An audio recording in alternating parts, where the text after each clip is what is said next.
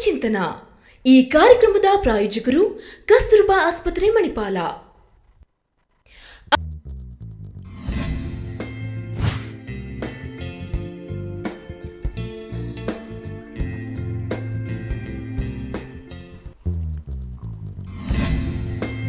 ನಮಸ್ಕಾರ ವೀಕ್ಷಕರೇ, ಕಸ್ತೂರ್ಬಾ ಆಸ್ಪತ್ರೆ ಮಣಿಪಾಲ್ ಅರ್ಪಿಸುವ ಆರೋಗ್ಯ ಚಿಂತನ, ನೇರ ಪ್ರಸಾರ ಕಾರ್ಯಕ್ರಮಕ್ಕೆ ತಮಗೆಲ್ಲರಿಗೂ ಕೂಡ ಪ್ರೀತಿಯ ಸ್ವಾಗತ.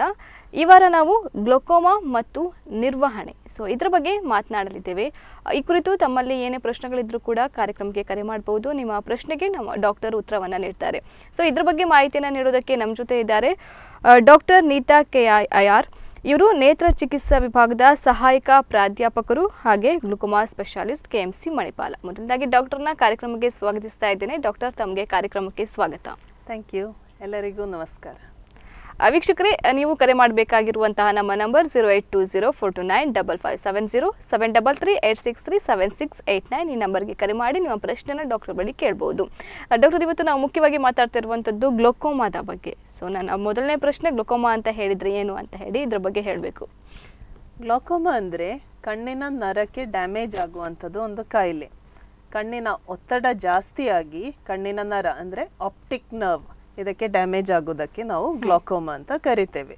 ಓಕೆ ಗ್ಲೋಕೋಮಾ ಅಂತ ಈ ಕಾರಣ ಅದ್ರ ಬಗ್ಗೆ ಮಾತಾಡಿದ್ರೆ ಏನು ಕಾರಣ ಡಾಕ್ಟರ್ ಗ್ಲೋಕೋಮಾಗೆ ಕಣ್ಣಿನ ಒತ್ತಡ ಹೇಗೆ ಜಾಸ್ತಿ ಆಗುವುದಂದ್ರೆ ಕಣ್ಣೊಳಗೆ ಒಂದು ದ್ರವ ಇದೆ ಒಂದು ಫ್ಲೂಯಿಡ್ ಅದಕ್ಕೆ ನಾವು ಎಕ್ವೆಸ್ ಹ್ಯೂಮರ್ ಅಂತ ಹೇಳ್ತೇವೆ. ಈ ಎಕ್ವೆಸ್ ಹ್ಯೂಮರ್ ಡೈಲಿ ಪ್ರೊಡ್ಯೂಸ್ ಆಗ್ತಾ ಇರ್ತದೆ ಡ್ರೈನ್ ಆಗ್ತಾ ಇರ್ತದೆ. ಸೊ ಈ ಎಕ್ವೆಸ್ ಹ್ಯೂಮರ್ ಡ್ರೈನ್ ಆಗುವ ಜಾಗ ಕಣ್ಣಿನದು ಆಂಗಲ್ ಆಫ್ ದಿ ಐ ಇಲ್ಲಿಂದ ಡ್ರೈನ್ ಆಗುವ ಕಡೆ ಏನಾದರೂ ಬ್ಲಾಕ್ ಏನಾದರೂ ಪ್ರಾಬ್ಲಮ್ ಇದ್ದರೆ ಕಣ್ಣೊಳಗೆ ಈ ದ್ರವ ಕಲೆಕ್ಟ್ ಆಗಲಿಕ್ಕೆ ಸ್ಟಾರ್ಟ್ ಆಗ್ತದೆ. ಕಣ್ಣೊಳಗೆ ಈ ದ್ರವ ಕಲೆಕ್ಟ್ ಆದರೆ ಕಣ್ಣೊಳಗೆ ಇದು ಒತ್ತಡ ಪ್ರೆಷರ್ ಜಾಸ್ತಿ ಆಗ್ತದೆ. ಕಣ್ಣೊಳಗೆ ಪ್ರೆಷರ್ ಜಾಸ್ತಿ ಆದರೆ ಕಣ್ಣಿನ ನರಕ್ಕೆ ಡ್ಯಾಮೇಜ್ ಆಗ್ತದೆ. ಸೊ ಇದಕ್ಕೆ ನಾವು ಗ್ಲೋಕೋಮ ಅಂತ ಕರೆಯೋದು. ಹೀಗೆ ಯೂಶಲಿ ಗ್ಲೋಕೋಮ ಡೆವಲಪ್ ಆಗೋದು. ಹೀಗೆ ಕಣ್ಣಿನ ಒತ್ತಡ ಜಾಸ್ತಿಯಾಗಿ ಆಗೋದು. ಓಕೆ ಕಣ್ಣಿನ ಒತ್ತಡ ಜಾಸ್ತಿಯಾಗಿ ಗ್ಲೋಕೋಮಾ ಬರ್ತದೆ ಅಂತ. ಹೆಚ್ಚಾಗಿ ಡಾಕ್ಟರ್ ಯಾರಿಗೆ ಬರ್ತದೆ ಗ್ಲೋಕೋಮಾ ಅಂತ ಹೇಳಿ? ಅಂದರೆ ದೊಡ್ಡವರಿಗ ಅಥವಾ ಮಿಡಲ್ ಏಜ್ನವರಿಗ ಚಿಕ್ಕ ಮಕ್ಕಳಿಗ ಏನಾದರೂ ಏಜ್ ಲಿಮಿಟ್ ಏನಾದರೂ ಉಂಟಾ? ಗ್ಲೋಕೋಮಾ ಬರಲಿಕ್ಕೆ ವಯಸ್ಸಿನ ಮಿತಿ ಏನಾದರೂ? ಕಾಮನ್ಲಿ ಗ್ಲಾಕೋಮಾ ಬರುವುದು ಓಲ್ಡರ್ ಏಜ್ ಪೀಪಲ್ ನಲ್ವತ್ತು ವಯಸ್ಸಿನ ನಂತರ ಕಾಮನ್ ಆಗಿ ಯೂಶಲಿ ಗ್ಲಾಕೋಮಾ ಬರುವುದು. ವಯಸ್ಸು ಜಾಸ್ತಿ ಆಗುವಷ್ಟು ಗ್ಲಾಕೋಮಾ ಬರುವ ರಿಸ್ಕ್ ಜಾಸ್ತಿ ಆಗ್ತಾ ಹೋಗ್ತದೆ. ಇದು ಮಾತ್ರ ಅಲ್ಲ ಇನ್ನೊಂದು ಇಂಪಾರ್ಟೆಂಟ್ ಫ್ಯಾಕ್ಟರ್ ಏನಂದ್ರೆ ಮನೆಯಲ್ಲಿ ಯಾರಿಗಾದರೂ ಗ್ಲಾಕೋಮಾ ಕಾಯಿಲೆ ಇದ್ದರೆ ನಿಮ್ಮ ಫ್ಯಾಮಿಲಿ ಮೆಂಬರ್ಸಿಗೆ ಯಾರಿಗಾದರೂ ಗ್ಲಾಕೋಮಾ ಕಾಯಿಲೆ ಇದ್ದರೆ ತಮಗೂ ಗ್ಲಾಕೋಮಾ ಡೆವಲಪ್ ಆಗುವ ಚಾನ್ಸಸ್ ರಿಸ್ಕ್ ಸ್ವಲ್ಪ ಜಾಸ್ತಿ ಇರ್ತದೆ. ಸೊ ಮೇನ್ ಆಗಿ ಏಜ್ ಮತ್ತು ಮನೆಯಲ್ಲಿ ಬೇರೆ ಯಾರಿಗಾದ್ರು ಫ್ಯಾಮಿಲಿ ಮೆಂಬರ್ಸಿಗೆ ಗ್ಲಾಕೋಮಾ ಕಾಯಿಲೆ ಇದ್ದರೆ ಮತ್ತು ಇನ್ನೊಂದು ದಪ್ಪ ಗ್ಲಾಸ್ ಹೈ ಪವರ್ ಅಂದರೆ ಕಣ್ಣಿನ ಮಯೋಪಿಯಾ ಅಂತ ನಿಯರ್ ವಿಷನ್ ಇದ್ದವರಿಗೆ ಇಲ್ಲ ಹೈ ಹೈಪಮೆಟ್ರೋಪಿಯಾ ಇದೆ ಈ ಹೈ ಪವರ್ ಗ್ಲಾಸ್ ಇದ್ದವರಿಗೂ ಕೆಲವೊಮ್ಮೆ ಗ್ಲಾಕೋಮಾ ಡೆವಲಪ್ ಆಗ್ಬೋದು. ಮತ್ತೆ ಇನ್ನೊಂದು ಡಯಾಬಿಟಿಸ್ ಕಾಯಿಲೆ ಇದ್ದವರಿಗೂ ಸ್ವಲ್ಪ ಹೈಯರ್ ರಿಸ್ಕ್ ಗ್ಲಾಕೋಮಾ ಡೆವಲಪ್ ಆಗಲಿಕ್ಕೆ ಸ್ಮೋಕಿಂಗ್ ಮಾಡುವವರಿಗೂ ಇವರಿಗೆಲ್ಲರಿಗೂ ಸ್ವಲ್ಪ ಗ್ಲಾಕೋಮಾ ಡೆವಲಪ್ ಆಗುವ ರಿಸ್ಕ್ ಜಾಸ್ತಿ ಇರ್ತದೆ. ಬಟ್ ಮೇನ್ ಆಗಿ ಓಲ್ಡರ್ ಇಂಡಿವಿಜುವಲ್ ನಲ್ವತ್ತು ವಯಸ್ಸಿನ ಜಾಸ್ತಿ ಅವರ್ ಇದ್ದವರಿಗೆ ಮತ್ತೆ family members of glaucoma patients ಇವರಿಬ್ಬರು at very high risk of developing glaucoma okay ನಲವತ್ತು ವರ್ಷಕ್ಕಿಂತ ಮೇಲ್ಪಟ್ಟವರಲ್ಲಿ ಜಾಸ್ತಿಯಾಗಿ ಕಂಡು ಬರ್ತದೆ. ಅದೇ ರೀತಿ ಫ್ಯಾಮಿಲಿಯಲ್ಲಿ ಯಾರಿಗಾದರೂ ಇದ್ರೆ ಗ್ಲೋಕೋಮಾ ಬರ್ತದೆ ಅಂತ. ಇನ್ನು ಡಾಕ್ಟರ್ ಮಕ್ಕಳಿಗೆ ಗ್ಲೋಕೋಮಾ ಬರ್ತದ? ಕೆಲವೊಮ್ಮೆ ರೇರ್ಲಿ ಮಕ್ಕಳಿಗೂ ಡೆವ್ ಗ್ಲಾಕೋಮಾ ಡೆವಲಪ್ ಆಗ್ಬೋದು. ಕೆಲವು ಮಕ್ಕಳಿಗೆ ಹುಟ್ಟುವಾಗಲೇ ಕಣ್ಣಿನ ಡೆವಲಪ್ಮೆಂಟ್ ಸರಿ ಇಲ್ಲದಿದ್ದರೆ ಕಣ್ಣಿನದು ದ್ರವ ಹೊರಗೆ ಬರಲಿಕ್ಕೆ ಜಾಗ ಡೆವಲಪ್ ಆಗಲಿಲ್ಲ ಅಂದರೆ ಕಣ್ಣಿನ ಒತ್ತಡ ಜಾಸ್ತಿ ಆಗ್ಬೋದು. ಅಂಥ ಮಕ್ಕಳು ಹುಟ್ಟುವಾಗಲೇ ಅವರಿಗೆ ಕಣ್ಣು ಪ್ರಾಬ್ಲಮ್ ಇರ್ತದೆ. ಕಣ್ಣಿನ ಕರಿಗುಡ್ಡೆ ಸ್ವಲ್ಪ ದೊಡ್ಡದಿರ್ಬೋದು. ಕಣ್ಣಿನ ಕರಿಗುಡ್ಡೆ ನಮ್ಮ ಕರಿಗುಡ್ಡೆ ಹಾಗೆ ಕ್ಲಿಯರ್ ಬ್ಲ್ಯಾಕ್ ಆಗಿ ಇರುವುದಿಲ್ಲ. ಸ್ವಲ್ಪ ಗ್ರೇ ಕಲರ್ ಇರ್ಬೋದು. ಅಂಥ ಮಕ್ಕಳಿಗೆ ಬೆಳಕು ನೋಡ್ಲಿಕ್ಕೆ ಆಗೋದಿಲ್ಲ. ಬೆಳಕು ನೋಡಿದ್ರೆ ಅವರು ಕಣ್ಣು ಟೈಟ್ ಆಗಿ ಮುಚ್ತಾರೆ ಕಣ್ಣಿನಲ್ಲಿ ತುಂಬಾ ನೀರು ಬರ್ತಾ ಇರ್ತದೆ. ಸೊ ಹುಟ್ಟುವಾಗಲೇ ಎಲ್ಲ ಮಕ್ಕಳಿದು ಕಣ್ಣು ಒಂದ್ಸಲ ರೂಟೀನ್ ಆಗಿ ಟೆಸ್ಟ್ ಮಾಡಬೇಕು. ಕಣ್ಣಿಗೆ ಅದು ಕರಿಗುಡ್ಡೆ ದೊಡ್ಡದಿದ್ದರೆ ಇಮಿಡಿಯೇಟ್ ಆಗಿ ಕಣ್ಣಿನ ಡಾಕ್ಟ್ರಿಗೆ ಒಂದ್ಸಲ ತೋರಿಸಬೇಕಾಗ್ತದೆ. ಓಕೆ ಡಾಕ್ಟರ್ ಹಾಗೆ ಈ ಗ್ಲೋಕೋಮಾ ಅಂದ್ರೆ ದೃಷ್ಟಿಗೆ ಹೇಗೆ ಹಾನಿಕಾರಕವಾಗ್ತದೆ ಅಂತ? ಗ್ಲೋಕೋಮಾದಲ್ಲಿ ದೃಷ್ಟಿ ಎಫೆಕ್ಟ್ ಆಗೋದು ಯೂಶಲಿ ಸೈಡಿನಿಂದ ನಮ್ಮ ವಿಜುವಲ್ ಫೀಲ್ಡ್ ಅಂದರೆ ನಮ್ಮ ವಿಶ್ವ ವಿಷನ್ ಇದು ವ್ಯಾಪ್ತಿ ಅದು ಸೈಡಿನಿಂದ ಡ್ಯಾಮೇಜ್ ಆಗ್ತಾ ಬರೋದು. ಸೊ ಲಾಸ್ಟಿಗೆ ಸೈಡಿಂದ ಕಡಿಮೆಯಾಗಿ ಕಡಿಮೆಯಾಗಿ ಲಾಸ್ಟಿಗೆ ನಮ್ಮ ಸೂಕ್ಷ್ಮ ದೃಷ್ಟಿ ಹೋಗುವಂಥದ್ದು ಕಾಯಿಲೆ ಗ್ಲಾಕೋಮಾ ಕಾಯಿಲೆ. ಓಕೆ ಡಾಕ್ಟರ್ ಈ ಗ್ಲೊಕೋಮಾದಿಂದ ಏನು ಬ್ಲೈಂಡ್ ಆಗ್ತಾರಾ ಜನರು? ಸಾಮಾನ್ಯವಾಗಿ ಒಂದು ಮನಸ್ಸಿನಲ್ಲಿ ಮೂಡುವಂಥ ಪ್ರಶ್ನೆ ಅಂತ ಹೇಳ್ಬೋದು. ನೀವು ಹೇಳಬೇಕು ಡಾಕ್ಟರ್ ಬ್ಲೈಂಡ್ ಆಗ್ತಾರ? ಸೊ ಕಣ್ಣಿನ ನರ ಡ್ಯಾಮೇಜ್ ಆದರೆ ಯೂಶಲಿ ನರ ಡ್ಯಾಮೇಜ್ ಆದರೆ ಅದು ಹೋದದ್ದು ಯಾವತ್ತೂ ವಾಪಸ್ ಬರುವುದಿಲ್ಲ. ಸೊ ಗ್ಲಾಕೋಮಾ ಕಾಯಿಲೆಯಲ್ಲಿ ಹೋದ ದೃಷ್ಟಿ ಯಾವತ್ತೂ ವಾಪಸ್ ಬರುವುದಿಲ್ಲ. ಓಕೆ ಸೊ ಗ್ಲಾಕೋಮಾ ಕಾಯಿಲೆ ಬೇಗ ಕಂಡು ಹಿಡಿದ್ರೆ ನಾವು ಬೇಗ ಟ್ರೀಟ್ಮೆಂಟ್ ಕೊಡ್ಬೋದು. ಬೇಗ ಟ್ರೀಟ್ಮೆಂಟ್ ಕೊಟ್ಟಿದ್ರೆ ನರ ಡ್ಯಾಮೇಜನ್ನು ನಾವು ಸ್ವಲ್ಪ ಸ್ಲೋ ಡೌನ್ ಮಾಡ್ಬೋದು ಇಲ್ಲ ಸ್ಟಾಪ್ ಮಾಡ್ಬೋದು. ಸೊ ಹಾಗೆ ಬೇಗ ಟ್ರೀಟ್ಮೆಂಟ್ ಕೊಟ್ಟಿದ್ದರೆ ಅವ್ರ ಪೇಷಂಟ್ ಬ್ಲೈಂಡ್ ಆಗೋದಿಲ್ಲ ಬಟ್ ತಮಗೆ ಗ್ಲಾಕೋಮಾ ಕಾಯಿಲೆ ಇದೆ ಅಂತ ಗೊತ್ತಿಲ್ಲದಿದ್ದರೆ ಇಲ್ಲ ಅದು ಕರೆಕ್ಟ್ ಅದಕ್ಕೆ ಕರೆಕ್ಟಾಗಿ ಟ್ರೀಟ್ಮೆಂಟ್ ತಗೊಳ್ಳಿಲ್ಲದಿದ್ದರೆ ಪೇಷಂಟ್ಸ್ ಬ್ಲೈಂಡ್ ಆಗ್ಬೋದು. ಸೊ ವಿಶ್ವದಲ್ಲಿ ಇರ್ರಿವರ್ಸಿಬಲ್ ಬ್ಲೈಂಡ್ನೆಸ್ ಅಂದರೆ ಕುರುಡತನ ಅದು ಕರೆಕ್ಟ್ ಮಾಡ್ಲಿಕ್ಕೆ ಆಗುವಂಥದ್ದು ಆಗುವುದಿಲ್ಲದಂಥ ಕುರುಡತನಕ್ಕೆ ಗ್ಲೋಕಮವೇ major reason number one reason for irreversible blindness in the world okay doctor ಹಾಗೆ ವರ್ಲ್ಡಲ್ಲಿ ಎಷ್ಟು ಕಾಮನ್ ಇದೆ ಅಂತ ನಾನು ಕೇಳಬೇಕು ಎಷ್ಟು? ವರ್ಲ್ಡಲ್ಲಿ ಈಗ ಸದ್ಯಕ್ಕೆ ನಮಗೆ ಗೊತ್ತಿದ್ದಷ್ಟು ಒಂದು ಏಯ್ಟಿ ಮಿಲಿಯನ್ ಜನರು ಎಂಬತ್ತು ಮಿಲಿಯನ್ ಇಲ್ಲಾಂದ್ರೆ ಎಂಟು ಕೋಟಿ ಜನರಿಗೆ ಗ್ಲಾಕೋಮಾ ಕಾಯಿಲೆ ಇದೆ.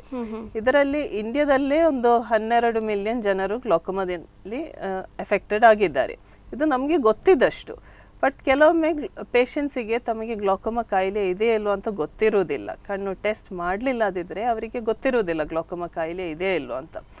ಹಾಗೆ ಅಂಥದ್ದು ಎಷ್ಟು ಜನರಿದ್ದಾರೆ ಅದು ನಮಗೆ ಗೊತ್ತಿಲ್ಲ.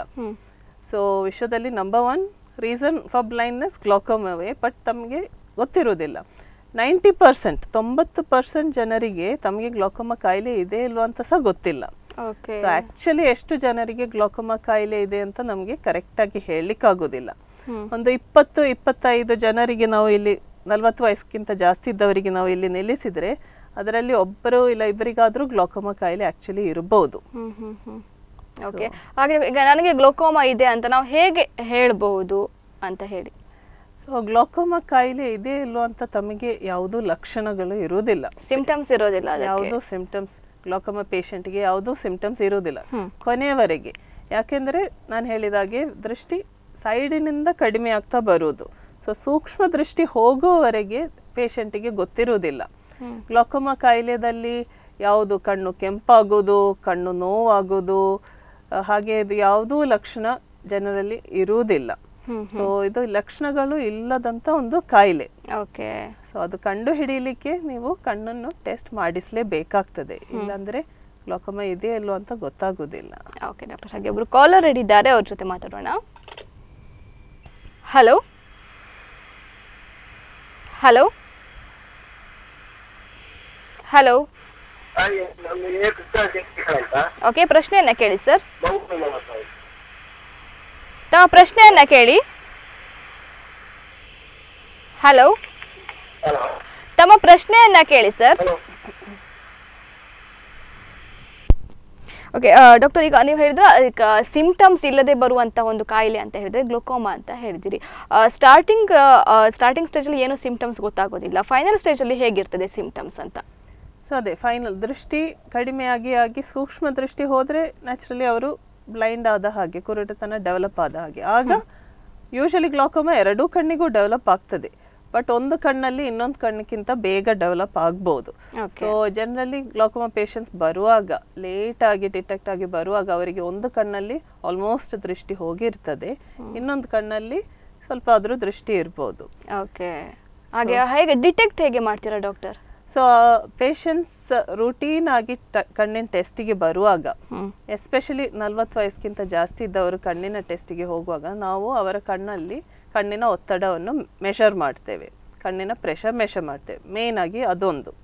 ಇನ್ನೊಂದು ಕಣ್ಣಿನ ಒಳಗಿನ ನರ ನಮಗೆ ನೋಡ್ಲಿಕ್ಕೆ ಆಗ್ತದೆ. ಡೈರೆಕ್ಟ್ ಆಗಿ ಕಣ್ಣಿನ ನರ ನಮಗೆ ಕಾಣ್ತದೆ. ಇದಕ್ಕೆ ಸ್ಪೆಷಲ್ ಲೆನ್ಸ್ ಯೂಸ್ ಮಾಡಿ ನಾವು ಕಣ್ಣಿನ ನರ ನೋಡೋದು. ಕಣ್ಣಿನ ನರದಲ್ಲಿ ಡ್ಯಾಮೇಜ್ ಕಂಡು ಹಿಡಿದ್ರೆ ನಾವು ನೋಡ್ ನೋಡಲಿಕ್ಕೆ ಸಿಕ್ಕಿದ್ರೆ ನಾವು ಅದಕ್ಕೆ extra investigations extra test order ಮಾಡ್ತೇವೆ. ಇದರಲ್ಲಿ ಮೇನ್ ಇಂಪಾರ್ಟೆಂಟ್ ಟೆಸ್ಟ್ ಏನಂದರೆ ನಮ್ಮ ವಿಷುವಲ್ ಫೀಲ್ಡ್ ದೃಷ್ಟಿಯದು ವ್ಯಾಪ್ತಿ ಅನ್ನು ಮೆಷರ್ ಮಾಡುವಂಥದ್ದು ಒಂದು ಟೆಸ್ಟ್ ವಿಷುವಲ್ ಫೀಲ್ಡ್ ಟೆಸ್ಟ್ ಅಂತ ಟೆಸ್ಟ್ ಮಾಡ್ತೇವೆ. ಇದು ಗ್ಲಾಕೋಮಾ ಡಿಟೆಕ್ಟ್ ಆಗಲಿಕ್ಕೆ ಮೇನ್ ಇಂಪಾರ್ಟೆಂಟ್ ಟೆಸ್ಟ್ ಇನ್ನೊಂದು ಟೆಸ್ಟ್ ಏನಂದರೆ O C T test O C T ಟೆಸ್ಟಲ್ಲಿ ಅದು ಒಂದು ಸ್ಕ್ಯಾನ್ ಕಣ್ಣಿನ ನರದು ಸ್ಕ್ಯಾನ್ ಸೊ ಕಣ್ಣಿನ ನರದಲ್ಲಿ ಎಷ್ಟು ಥಿಕ್ನೆಸ್ ಇದೆ? ಡ್ಯಾಮೇಜ್ ಇದ್ರೆ ಥಿಕ್ನೆಸ್ ಕಡಿಮೆ ಇರ್ತದೆ. ಸೊ ಎಷ್ಟು ಥಿಕ್ನೆಸ್ ಇದೆ ಅಂತ ಮೆಷರ್ ಮಾಡುವಂಥದ್ದು ಒಂದು ಸ್ಕ್ಯಾನ್ ಸೊ ಈ ಸ್ಕ್ಯಾನ್ ಮಾಡಿದ್ರೆ ಸಹ ನಮಗೆ ಡ್ಯಾಮೇಜ್ ಕಂಡುಹಿಡಿಯಲಿಕ್ಕೆ ಆಗ್ತದೆ ಓಕೆ ಮತ್ತೆ ಇನ್ನೊಂದು ಟೆಸ್ಟ್ ಏನಂದ್ರೆ ಗೋನಿಯೋಸ್ಕೋಪಿ ಅಂತ ಒಂದು ಟೆಸ್ಟ್ ಕಣ್ಣೊಳಗೆ ಇದು ನೀರು ಹರಿಯುವ ದಾರಿ ಕರೆಕ್ಟ್ ಇದೆಯಾ? ಬ್ಲಾಕ್ ಆಗಿದೆಯಾ? ಏನಾದರೂ ಪ್ರಾಬ್ಲಮ್ಸ್ ಇದೆಯಾ ಅಂತ ಗೊತ್ತಾಗುವಂಥದ್ದು ಒಂದು test so main five test ಏನಂದ್ರೆ ಕಣ್ಣಿನ ಪ್ರೆಷರ್ ಟೆಸ್ಟ್ ಕಣ್ಣಿನ ನರ ಸ್ಪೆಷಲ್ ಲೆನ್ಸ್ಗಳಲ್ಲಿ ನೋಡುವಂಥದ್ದು ಟೆಸ್ಟ್ ಕಣ್ಣಿನ ವಿಷುವಲ್ ಫೀಲ್ಡ್ ವ್ಯಾಪ್ತಿದು ಟೆಸ್ಟ್ ಮತ್ತು O C T test and gonioscopy. ಈ ಟೆಸ್ಟ್ಗಳೆಲ್ಲ ಮಾಡಿದ ನಂತರ ನಮಗೆ ಗೊತ್ತಾಗ್ತದೆ ಗ್ಲೋಕೋಮಾ ಕಾಯಿಲೆ ಇದೆಯಾ ಇಲ್ವಾ ಅಂತ. ಓಕೆ ಫೈವ್ ಟೆಸ್ಟ್ ಮಾಡಿ ನಿಮಗೆ ಮತ್ತೆ ಗೊತ್ತಾಗ್ತದೆ ಗ್ಲೋಕೋಮಾ ಕಾಯಿಲೆ ಇದೆ ಇಲ್ವಾ ಅಂತೇಳಿ. ಅದ ನಂತರ ಸಪೋಸ್ ಈಗ ಗ್ಲೋಕೋಮಾ ಕಾಯಿಲೆ ಇದೆ ಅಂತ ಗೊತ್ತಾಗ್ತದೆ. ಆ ಟ್ರೀಟ್ಮೆಂಟ್ ಯಾವ ರೀತಿಯಲ್ಲಿ ಇರ್ತದೆ ಪೇಷಂಟ್ಗೆ ಗ್ಲಾಕೋಮಾ ಟ್ರೀಟ್ಮೆಂಟ್ ಮೇನ್ ಆಗಿ ತ್ರೀ ಟೈಪ್ಸ್ ಅಲ್ಲಿ ಇರೋದು. ಒಂದು ಗ್ಲಾಕೋಮಾ ಮೆಡಿಸಿನ್ ಮೆಡಿಕಲ್ ಮ್ಯಾನೇಜ್ಮೆಂಟ್ ಅಂತ ಹೇಳೋದು ಮೆಡಿಸಿನ್ಸ್. ಇನ್ನೊಂದು ಗ್ಲಾಕೋಮಾದ ಸರ್ಜರಿ ಇನ್ನೊಂದು ಗ್ಲಾಕೋಮಾಗೆ ಲೇಸರ್ಸ್ ಇರ್ತದೆ ಕಣ್ಣಿಗೆ ಲೇಸರ್ ಮಾಡುವಂಥದ್ದು. So ಗ್ಲಾಕೋಮಾದ medi medical management medicine tablet ಎಲ್ಲ ಇರೋದಿಲ್ಲ. ಕಣ್ಣಿನದು ಮೆಡಿಸಿನ್ಸ್ ಯೂಶಲಿ ಡ್ರಾಪ್ಸ್ ಬಾಟಲ್ನಲ್ಲಿ ಬರುವಂಥದ್ದು. ಕಣ್ಣಿಗೆ ಹಾಕಬೇಕಾಗ್ತದೆ ಅದು ಡ್ರಾಪ್ಸ್ ಕಣ್ಣಿನದು ರೆಪ್ಪೆ ಎಳೆದು ಆ ಗ್ಯಾಪಿನಲ್ಲಿ ಒಂದು ಡ್ರಾಪ್ ಹಾಕೋದು ಗ್ಲಾಕೋಮಾದ ಡ್ರಾಪ್ಸ್ ಒಂದು ಬಾಟಲ್ನಲ್ಲಿ ಒಂದು ಮೆಡಿಸಿನ್ ಇರಬಹುದು ಇಲ್ಲ ಒಂದು ಬಾಟಲ್ನಲ್ಲಿ ಎರಡು ಮೆಡಿಸಿನ್ ಮಿಕ್ಸ್ ಆಗಿ ಕೂಡ ಸಿಗ್ತದೆ. ಸೊ ಇದು ಡ್ರಾಪ್ಸ್ ರೆಗ್ಯುಲರ್ಲಿ ಹಾಕಬೇಕಾಗು ಹಾಕಬೇಕಾಗ್ತದೆ. ಡೈಲಿ ಸೇಮ್ ಟೈಮ್ ಬೆಳಿಗ್ಗೆ ಆದರೆ ಬೆಳಿಗ್ಗೆ. ಇಲ್ಲ ಕೆಲವೊಮ್ಮೆ ಡ್ರಾಪ್ಸ್ ಎರಡು ಸಲ ಹಾಕಬೇಕಾಗ್ತದೆ. ಡೈಲಿ ಕೆಲವೊಮ್ಮೆ ಮೂರು ಸಲ ಹಾಕಬೇಕಾಗ್ತದೆ. ಸೊ ಡೈಲಿ ತಗೊಳ್ಬೇಕಾಗ್ತದೆ ಇದು ಮೆಡಿಸಿನ್ ಲೈಫ್ ಲಾಂಗ್ ಟ್ರೀಟ್ಮೆಂಟ್ ಗ್ಲಾಕೋಮಾದ ಟ್ರೀಟ್ಮೆಂಟ್ ಸಿಂಗಲ್ ಡೇ ಒಂದು ಟೈಮ್ ಟ್ರೀಟ್ಮೆಂಟ್ ತಗೊಂಡು ಕ್ಯೂರ್ ಆಗುವಂಥ ಕಾಯಿಲೆ ಅಲ್ಲ. ನೀವು ಲೈಫ್ ಲಾಂಗ್ ಟ್ರೀಟ್ಮೆಂಟ್ ತಗೊಳ್ಬೇಕಾಗ್ತದೆ ನೆಕ್ಸ್ಟ್ ಟ್ರೀಟ್ಮೆಂಟ್ ಅವೈಲಬಲ್ ಇರೋದು ಗ್ಲಾಕೋಮಾಗೆ ಸರ್ಜಿಕಲ್ ಮ್ಯಾನೇಜ್ಮೆಂಟ್ ಸರ್ಜರಿ ಶಸ್ತ್ರಚಿಕಿತ್ಸೆ. ಗ್ಲಾಕೋಮಾದಲ್ಲಿ ಶಸ್ತ್ರಚಿಕಿತ್ಸೆ ಬೇರೆ ಬೇರೆ ಥರದ್ದು ಇರ್ತದೆ. ಫಸ್ಟ್ ಸರ್ಜರಿ ಕಾಮನ್ಲಿ ತುಂಬ ವರ್ಷಗಳಿಂದ ನಾವು ಮಾಡ್ತಾ ಇರುವಂಥದ್ದು ಟ್ರಬೆಕ್ಯುಲೆಕ್ಟಮಿ ಅಂತ ಸರ್ಜರಿ ಅಂದರೆ ಕಣ್ಣ ಒಳಗೆದು ನೀರು ಹೊರಗೆ ಹರಿಯಲಿಕ್ಕೆ ಹೊಸ ದಾರಿಯನ್ನು ಮಾಡುವಂಥದ್ದು ಸರ್ಜರಿ ಶಸ್ ಟ್ರೆಬಿಕ್ಯುಲೆಕ್ಟಮಿ ಈ ಟ್ರೆಬಿಕ್ಯುಲೆಕ್ಟಮಿಯಲ್ಲಿ ಪ್ರೆಷರ್ ಒಳ್ಳೆಯದಾಗಿ ಕಂಟ್ರೋಲ್ ಮಾಡ್ಬೋದು ಒತ್ತಡ ಕಡಿಮೆ ಮಾಡ್ಬೋದು. ವೆರಿ ಸಕ್ಸಸ್ಫುಲ್ ಸರ್ಜರಿ ಆಗ್ಬೋದು ಬಟ್ ಅದರಲ್ಲಿ ಕೆಲವೊಮ್ಮೆ ಕಾಂಪ್ಲಿಕೇಶನ್ ರೇಟ್ ಕೂಡ ಸ್ವಲ್ಪ ಜಾಸ್ತಿ ಇರ್ತದೆ. ಓಕೆ ಇನ್ನೊಂದು ನೆಕ್ಸ್ಟ್ ಇಂಪಾರ್ಟೆಂಟ್ ಸರ್ಜರಿ ಗ್ಲಾಕೋಮಾಗೆ ಇರುವಂಥದ್ದು ಗ್ಲಾಕೋಮಾ ಶಂಟ್ ಸರ್ಜರಿ ಅಂದರೆ ಕಣ್ಣೊಳಗೆ ಇರುವ ನೀರು ಹೊರಗೆ ಹರಿಯಲಿಕ್ಕೆ ನಾವು ಕಣ್ಣೊಳಗೆ ಒಂದು ಟ್ಯೂಬ್ ಹಾಕ್ತೇವೆ. ಆ ಟ್ಯೂಬ್ ಮೂಲಕ ಕಣ್ಣೊಳಗೆ ಅದು ನೀರು ಹೊರಗೆ ಹರಿಯುವಂಥದ್ದು ಸರ್ಜರಿ. ಓಕೆ.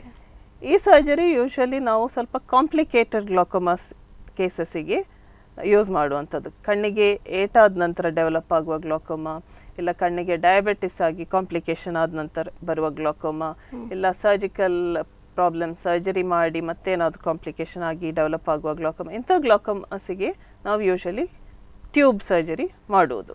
ಓಕೆ ಮತ್ತು ಈಗ latest available glaucoma treatment surgery ಏನಂದರೆ ಮಿನಿಮಲಿ ಇನ್ವೇಸಿವ್ ಗ್ಲಾಕೋಮಾ ಸರ್ಜರಿ ಅದಕ್ಕೆ ನಾವು ಮಿಗ್ಸ್ ಶಾರ್ಟ್ ಫಾರ್ಮ್ ಆಗಿ ಮಿಗ್ಸ್ ಅಂತ ಕರೆಯೋದು. ಮಿನಿಮಲಿ ಇನ್ವೇಸಿವ್ ಗ್ಲಾಕೋಮಾ ಸರ್ಜರಿ ಅಂದರೆ ಅದು ಅಷ್ಟು ಇನ್ವೇಸಿವ್ ಅಲ್ಲ.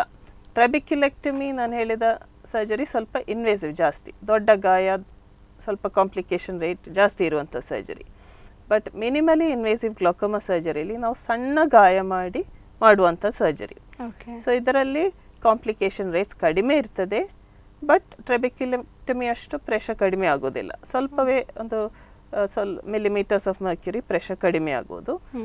ಈ ಸರ್ಜರಿ ನಾವು ಅರ್ಲಿ ಗ್ಲಾಕೋಮಾ ಪೇಷಂಟ್ಸಿಗೆ ಯೂಸ್ ಮಾಡ್ಬೋದು. ಟ್ರೆಬಿಕ್ಯುಲೆಕ್ಟಮಿ ನಾವು ಸ್ವಲ್ಪ ಅಡ್ವಾನ್ಸ್ ಗ್ಲಾಕೋಮಾ ಇಲ್ಲ ಮಾಡ್ರೇಟ್ ಗ್ಲಾಕೋಮಾ ಪೇಷಂಟ್ಸಿಗೆ ಯೂಸ್ ಮಾಡುವುದು. But early glaucoma ಕೇಸಸ್ಸಿಗೆ minimally invasive glaucoma surgery use ಮಾಡ್ಬೋದು. ಇದು ಲೇಟೆಸ್ಟ್ ವರ್ಲ್ಡಲ್ಲಿ ಈಗ ಡೆವಲಪ್ ಆಗಿರುವಂಥ ಲೇಟೆಸ್ಟ್ ಆಗಿ ಡೆವಲಪ್ ಆಗಿರುವಂಥದ್ದು ಸರ್ಜರಿ ಓಕೆ ಡಾಕ್ಟರ್ ಆಗ ನೀವು ಐ ಡ್ರಾಪ್ ಬಗ್ಗೆ ಮಾತಾಡಿದ್ರಿ. ಸೊ ಐ ಡ್ರಾಪ್ಸ್ ಅನ್ನ ಲೈಫ್ ಟೈಮ್ ಯೂಸ್ ಮಾಡಬೇಕಾ? ಎಸ್ ಇಲ್ಲ ಅಂತ ಅರ್ಧಕ್ಕೆ ಸ್ಟಾಪ್ ಮಾಡೋದಕ್ಕೆ ಕರ್ಸ್ ಕಣ್ಣು ಸರಿಯಾದರೆ ಮತ್ತೆ ಸ್ಟಾಪ್ ಮಾಡ್ಬೋದು ಅಂತನಾ? ಇಲ್ಲ. ಹಾಗೇನಿಲ್ಲ. ಗ್ಲಾಕೋಮಾ ಲಕ್ಷಣಗಳು ಇಲ್ಲದಂತ ಒಂದು ಡಿಸೀಸ್ ಸೊ ನಿಮಗೆ ಡ್ರಾಪ್ಸ್ ಹಾಕಿ ಗುಣ ಆಯ್ತು ಅಂತ ಹೇಳಲಿಕ್ಕೆ ಆಗುದಿಲ್ಲ ಓಕೆ ಸೊ ಡ್ರಾಪ್ಸ್ ಹಾಕಿ ಲೈಫ್ ಲಾಂಗ್ ಹಾಕಬೇಕು ಬರೀ ಹಾಕ್ತಾ ಇರುವುದಲ್ಲ ಒಂದ್ಸಲ ಟ್ರೀಟ್ಮೆಂಟ್ ಸ್ಟಾರ್ಟ್ ಮಾಡಿದ್ರೆ ಚೆಕಪ್ಪಿಗೆ ಪುನಃ ಹೋಗ್ಬೇಕಾಗ್ತದೆ. ಓಕೆ ಸೊ ಕೆಲವೊಮ್ಮೆ ವರ್ಷಕ್ಕೆ ಎರಡು ಸಲ ಕೆಲವೊಮ್ಮೆ ವರ್ಷಕ್ಕೆ ಮೂರು ಸಲ ಚೆಕಪ್ಪಿಗೆ ಹೋಗಬೇಕಾಗ್ಬೋದು. ಅಡ್ವಾನ್ಸ್ಡ್ ಕ್ಲೋಕಮಾ ಕೇಸಸ್ ಇದ್ದವರು ಸ್ವಲ್ಪ ಫ್ರೀಕ್ವೆಂಟ್ಲಿ ಜಾಸ್ತಿ ಟೈಮ್ಸ್ ಚೆಕಪ್ಪಿಗೆ ಹೋಗಬೇಕಾಗ್ತದೆ. ನೀವು ಚೆಕಪ್ಪಿಗೆ ಬರುವಾಗ ಪುನಃ ಕೆಲವು ಟೆಸ್ಟ್ ರಿಪೀಟ್ ಮಾಡಬೇಕಾಗ್ತದೆ. ಕಣ್ಣಿನ ಪ್ರೆಷರ್ ಕಡಿಮೆ ಆಗಿದೆಯಾ ಟ್ರೀಟ್ಮೆಂಟ್ ಸ್ಟಾರ್ಟ್ ಮಾಡಿದ ನಂತರ ಪ್ರೆಷರ್ ಕಡಿಮೆ ಆಗಿದೆ ಅಲ್ವಾ ಅಂತ ಚೆಕ್ ಮಾಡಬೇಕು. ಮತ್ತೆ ವಿಜುವಲ್ ಫೀಲ್ಡ್ಗೆ ಡ್ಯಾಮೇಜ್ ಜಾಸ್ತಿ ಆಗಿದೆಯಾ ಇಲ್ವಾ ಅಂತ ಸಹ ಗೊತ್ತಾಗಬೇಕು. ಓಕೆ ಟ್ರೀಟ್ಮೆಂಟ್ ತಗೊಂಡ ನಂತರ ನಂತರ ಕೂಡ ವಿಶ್ವಲ್ ಫೀಲ್ಡ್ ಡ್ಯಾಮೇಜ್ ಜಾಸ್ತಿ ಆಗೋದಾದ್ರೆ ಅದು ಟ್ರೀಟ್ಮೆಂಟ್ ಸಫಿಷಿಯಂಟ್ ಅಲ್ಲ. ಇನ್ನೂ ಸಹ ಪ್ರೆಷರ್ ಕಡಿಮೆ ಆಗಬೇಕು ಇನ್ನೂ ಜಾಸ್ತಿ ಪ್ರೆಷರ್ ಕಡಿಮೆ ಮಾಡಬೇಕು ಅಂತ ಅರ್ಥ. ಸೊ ಆಗ ನಾವು ಒಂದು ಮದ್ದು ಇದ್ದವರಿಗೆ ಇನ್ನೊಂದು ಮದ್ದು ಆ್ಯಡ್ ಮಾಡ್ಬೋದು. ಸೊ ಈ ಸೆಕೆಂಡ್ ಮದ್ದು ಯೂಶಲಿ ಸೆಪರೇಟ್ ಬಾಟಲಲ್ಲಿ ಸಹ ಇರ್ಬೋದು ಇಲ್ಲ ಪೇಷಂಟ್ ಕನ್ವೀನಿಯನ್ಸಿಗೋಸ್ಕರ ಕೆಲವೊಮ್ಮೆ ಒಂದು ಬಾಟಲಲ್ಲಿ ಎರಡು ಮದ್ದು ಕೂಡ ಇರ್ಬೋದು. ಓಕೆ ಬಟ್ ಇದು ಡ್ರಾಪ್ಸ್ ರೆಗ್ಯುಲರ್ ಆಗಿ ಹಾಕಬೇಕು. ಕೆಲವರು ಏನ್ ಮಾಡ್ತಾರೆ ನಾವು ಪ್ರಿಸ್ಕ್ರಿಪ್ಷನ್ ಅಲ್ಲಿ for one month and continue ಅಂತ ಬರೆಯೋದು. ಅವರು ಒನ್ ಮಂತ್ ತಗೊಳ್ತಾರೆ ಮತ್ತೆ ಒನ್ ಮಂತಿಗೆಲ್ಲ ಹೇಳಿದ್ದು ಅಂತ ಬಿಡ್ತಾರೆ. ಹಾಗೆ ಬಿಡ್ಲಿಕ್ಕಿಲ್ಲ. ಲಾಕಮ್ಮಗೆ ಇದು ಕಂಪ್ಲಯನ್ಸ್ ಅಧೆರೆನ್ಸ್ ಅದು ಡ್ರಾಪ್ಸ್ಗೆ ಕರೆಕ್ಟಾಗಿ ಅಧೇರ್ ಮಾಡಿ ಕರೆಕ್ಟ್ ಟೈಮಿಗೆ ಕರೆಕ್ಟೇ ಡ್ರಾಪ್ಸ್ ಹಾಕ್ತಾನೇ ಇರಬೇಕು. ಯಾವತ್ತೂ ನಿಲ್ಲಿಸಬಾರ್ದು. ಓಕೆ ಡಾಕ್ಟರ್ ದಿನಕ್ಕೆ ಎಷ್ಟು ಬಾರಿ ಡ್ರಾಪ್ಸ್ ಅನ್ನ ಹಾಕಬೇಕು? ನೀವು ಹೇಳಿರ್ತೀರಾ? ಅದು ಬೆಳಿಗ್ಗೆ ಮಧ್ಯಾಹ್ನ ರಾತ್ರಿ ಏನಾದರೂ ಉಂಟಾ ಟೈಮಿಂಗ್ಸ್ ಸೊ ಗ್ಲಾಕೋಮಾದು ಮದ್ದು ನಮಗೆ ಡ್ರಾಪ್ಸ್ ಯೂಶಲಿ ಈಗ ಅವೈಲಬಲ್ ಇರುವಂಥದ್ದು ಒಂದು five types of groups of medicines ಇರುವುದು.